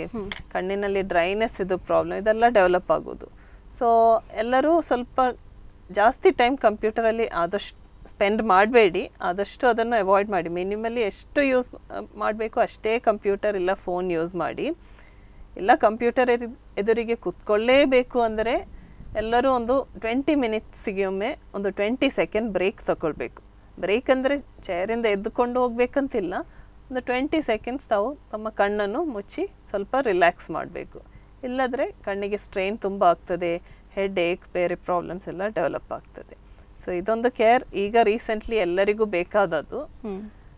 ಅದಲ್ಲದೆ ಫುಡ್ ಐಟಮ್ಸ್ ಎಲ್ಲರೂ ವೈಟಮಿನ್ ಎ ಜಾಸ್ತಿ ಇರುವ ಫುಡ್ ಐಟಮ್ಸ್ ಸೊಪ್ಪುಗಳು ಜಾಸ್ತಿ ಇಲ್ಲ ಆರೆಂಜ್ ಎಲ್ಲೋ ಕಲರ್ ಇರುವ ಫ್ರೂಟ್ಸ್ ಮತ್ತು ವೆಜಿಟೇಬಲ್ಸ್ ಇದೆಲ್ಲ ಜಾಸ್ತಿ ತಿನ್ನಬೇಕು ಅದಲ್ಲದೆ ಎಕ್ಸ್ಟ್ರಾ ಕೇರ್ ಅಂತ ಏನು ಬೇಕಂತಿಲ್ಲ. ಹೆಲ್ದಿ ಫುಡ್ ತಿನ್ನಬೇಕು ಹೆಲ್ದಿ ಲೈಫ್ ಸ್ಟೈಲ್ ಇದರಲ್ಲಿ ಕಣ್ಣು ಸಹ ಹೆಲ್ದಿ ಇರ್ತದೆ.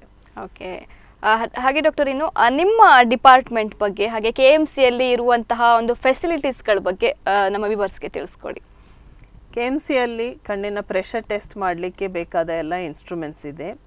ಕಣ್ಣಿನದು ಆ್ಯಂಗಲ್ ಚೆಕ್ ಮಾಡುವಂಥದ್ದು ಗೋನಿಯೋಸ್ಕೋಪಿ, ಅದರದ್ದು ಸ್ಕಿಲ್ ಇದೆ.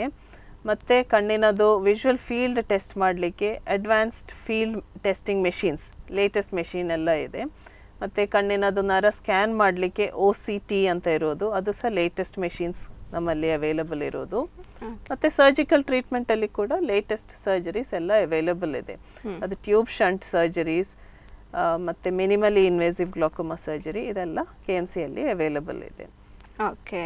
ಹಾಗೆ ಡಾಕ್ಟರ್ ಒಬ್ಬರು ಕಾಲರ್ ಇದ್ದಾರೆ ಶಂಕರ್ ಅಂತ ಹೇಳಿ. ಹಲೋ ಹಲೋ ಹಲೋ ಹಲೋ ನಮಸ್ತೆ ಶಂಕರ್ ಅವರೇ ಎಲ್ಲಿಂದ ಕರೆ ಮಾಡ್ತಾ ಇದ್ದೀರಾ? ಇದು ಅಮೃತಪಾಡಿಯಿಂದ ಓಕೆ ತಮ್ಮ ಪ್ರಶ್ನೆಯನ್ನ ಕೇಳಿ. ಇದು ಸಣ್ಣ ಮಕ್ಕಳಲ್ಲಿ ಸಹ ಗ್ಲೋಕೋಮತ್ ಕಾಯಿಲೆ ಬರ್ತದ ಅಂತ ಹೇಳಿ ಓಕೆ ಸಣ್ಣ ಮಕ್ಕಳಲ್ಲೂ ಕೂಡ ಗ್ಲುಕೋಮಾ ಬರ್ತದಾ ಅಂತ ಆಲ್ರೆಡಿ ನಾವು ಡಿಸ್ಕಸ್ ಮಾಡಿದ್ವಿ ಡಾಕ್ಟರ್ ಇವ್ರ ಕ್ವಶನ್ ಬೇರೆ ಮತ್ತೆ ಕೇಳಿದ್ದಾರೆ ಹೇಳ್ಬೋದು. ನಮಸ್ಕಾರ.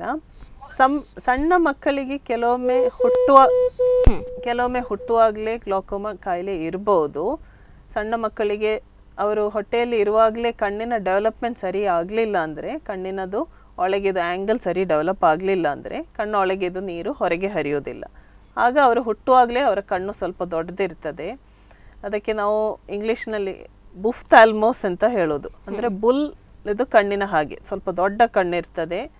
ಫಸ್ಟ್ ನಾವು ನೋಡುವಾಗ ಚಂದ ಉಂಟು ದೊಡ್ಡ ಕಣ್ಣು ಅಂತ ಎನಿಸ್ಬೋದು. ಹಾಗೆ ಎನಿಸ್ಬೇಡಿ ಮಕ್ಕಳಲ್ಲಿ ದೊಡ್ಡ ಕಣ್ಣು ಕಂಡಿದ್ರೆ ಅದು ಗ್ಲಾಕೋಮಾದ ಒಂದು ಲಕ್ಷಣ ಇರ್ಬೋದು. ಸೊ ಕಣ್ಣಿನ ಡಾಕ್ಟ್ರಿಗೆ ತೋರಿಸಬೇಕು. ಮತ್ತು ಇನ್ನೊಂದು ಮಕ್ಕಳು ಬೇರೆ ನಾರ್ಮಲ್ ಮಕ್ಕಳಿಗೆ ಸಹ ಕೆಲವೊಮ್ಮೆ ಗ್ಲಾಕೋಮಾ ಡೆವಲಪ್ ಆಗ್ಬೋದು. ಅದು ಕೆಲವು ಕಣ್ ಮಕ್ಕಳಿಗೆ ಅಲರ್ಜಿ ಕಣ್ಣು ತುಂಬ ಉಜ್ಜೋದು ಅದೆಲ್ಲ ಪ್ರಾಬ್ಲಮ್ ಇರುವಾಗ ನಾವು ಡೈರೆಕ್ಟ್ ಮೆಡಿಕಲ್ ಶಾಪಿಗೆ ಹೋಗಿ ಒಂದು ಡ್ರಾಪ್ಸ್ ಕೊಡಿ ಅಂತ ಹೇಳ್ತೇವೆ. ಕೆಲವೊಮ್ಮೆ ಆ ಡ್ರಾಪ್ಸ್ನಲ್ಲಿ ಸ್ಟೀರಾಯ್ಡ್ ಅಂತ ಅದು ಮದ್ದು ಇರ್ಬೋದು.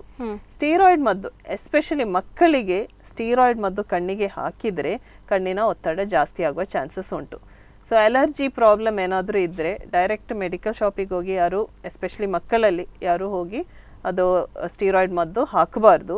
ಕೆಲವೊಮ್ಮೆ ಅಡ್ವಾನ್ಸ್ಡ್ ಅಲರ್ಜಿ ತುಂಬ ಇದ್ದರೆ ಸ್ಟೀರಾಯ್ಡ್ ಮದ್ದು ಕೊಡಬೇಕಾಗ್ಬೋದು. ಬಟ್ ಸ್ಟೀರಾಯ್ಡ್ ಮದ್ದು ಕಣ್ಣಿಗೆ ಹಾಕೋದಾದರೆ ರೆಗ್ಯುಲರ್ ಆಗಿ ಪ್ರೆಷರ್ ಚೆಕ್ ಮಾಡಿಸ್ಬೇಕು. ಸೊ ಪ್ರೆಷರ್ ಜಾಸ್ತಿ ಆಗೋದಾದರೆ ಅದು ಆ ಮದ್ದು ಸ್ಟಾಪ್ ಮಾಡಿ ಬೇರೆ ಮದ್ದು ಚೇಂಜ್ ಮಾಡಬೇಕಾಗ್ತದೆ. ಸೊ ಮಕ್ಕಳು ಎಸ್ಪೆಷಲಿ ಸ್ಟೀರಾಯ್ಡ್ ಅದನ್ನು ಮಿಸ್ಯೂಸ್ ಮಾಡಬಾರ್ದು. ಅದು ತುಂಬ ಸ್ಯಾಡ್ ಒಂದು ಇದು. ಮಕ್ಕಳಲ್ಲಿ ಸ್ಟೀರಾಯ್ಡ್ ಮದ್ದು ನಾವು ಅಲರ್ಜಿಗೋಸ್ಕರ ಒಂದು ಸಣ್ಣ ಪ್ರಾಬ್ಲಮಿಗೋಸ್ಕರ ಸ್ಟೀರಾಯ್ಡ್ ಮದ್ದು ಯೂಸ್ ಮಾಡಿ ಅವರ ದೃಷ್ಟಿಯನ್ನು ಕಳೆದುಕೊಳ್ಳುವುದು ತುಂಬ ಸ್ಯಾಡ್ ಹಾಗೆ ಅದು ಪೇಷಂಟ್ಸ್ ತುಂಬ ನಾವು ನೋಡಿದ್ದೇವೆ. So please over the counter ಮೆಡಿಸಿನ್ಸನ್ನು use ಮಾಡಬೇಡಿ. ಸ್ಟೀರಾಯ್ಡ್ಸ್ ಯೂಸ್ ಮಾಡೋದಾದರೆ ಕಣ್ಣಿನ ಡಾಕ್ಟ್ರ್ ಹತ್ರ ಹೋಗಿ ಕಣ್ಣಿನ ಪ್ರೆಷರ್ ಒಂದು ಟೆಸ್ಟ್ ಮಾಡಿಸಬೇಕು. ಓಕೆ ಡಾಕ್ಟರ್ ಹಾಗೆ ಕಾರ್ಯಕ್ರಮದಲ್ಲಿ ಗ್ಲೋಕೋಮದ ಬಗ್ಗೆ ನಮ್ಮ ವೀವರ್ಸ್ಗೆ ಆದಷ್ಟು ಮಾಹಿತಿಯನ್ನು ನೀವು ನೀಡಿದ್ದೀರಾ? ನಿಮಗೂ ಕೂಡ ಕಾರ್ಯಕ್ರಮಕ್ಕೆ ಬಂದಿರೋದಕ್ಕೆ ಧನ್ಯವಾದಗಳು. ಥ್ಯಾಂಕ್ ಯು ವೀಕ್ಷಕರೇ ನೋಡಿದ್ರಲ್ಲ, ಇವತ್ತಿನ ಆರೋಗ್ಯ ಚಿಂತನಾ ಕಾರ್ಯಕ್ರಮದಲ್ಲಿ ಡಾಕ್ಟರ್ ನೇತಾ ಅವರು ಗ್ಲೋಕೋಮಾದ ಬಗ್ಗೆ ಸಂಪೂರ್ಣವಾದ ಮಾಹಿತಿಯನ್ನು ನಿಮಗೆ ನೀಡಿದ್ದಾರೆ. ಎಲ್ಲರೂ ಕೂಡ ನಲವತ್ತು ವರ್ಷಕ್ಕಿಂತ ಮೇಲ್ಪಟ್ಟವರು, ರೆಗ್ಯುಲರ್ ಐ ಚೆಕಪ್ ಅನ್ನ ಮಾಡ್ತಾ ಇರಿ ಅಂತ ಹೇಳ್ತಾ ಇವತ್ತಿನ ಕಾರ್ಯಕ್ರಮವನ್ನ ಇಲ್ಲಿಗೆ ಮುಗಿಸ್ತಾ ಇದ್ದೇನೆ. ನಿರಂತರ ಸುದ್ದಿ ಹಾಗೂ ಮನೋರಂಜನೆಗಾಗಿ ತಾವೆಲ್ಲರೂ ನೋಡ್ತಾ ಇರಿ. ದೈಜುವ ಟ್ವೆಂಟಿ ಫೋರ್ ಇಂಟು ಸೆವೆನ್.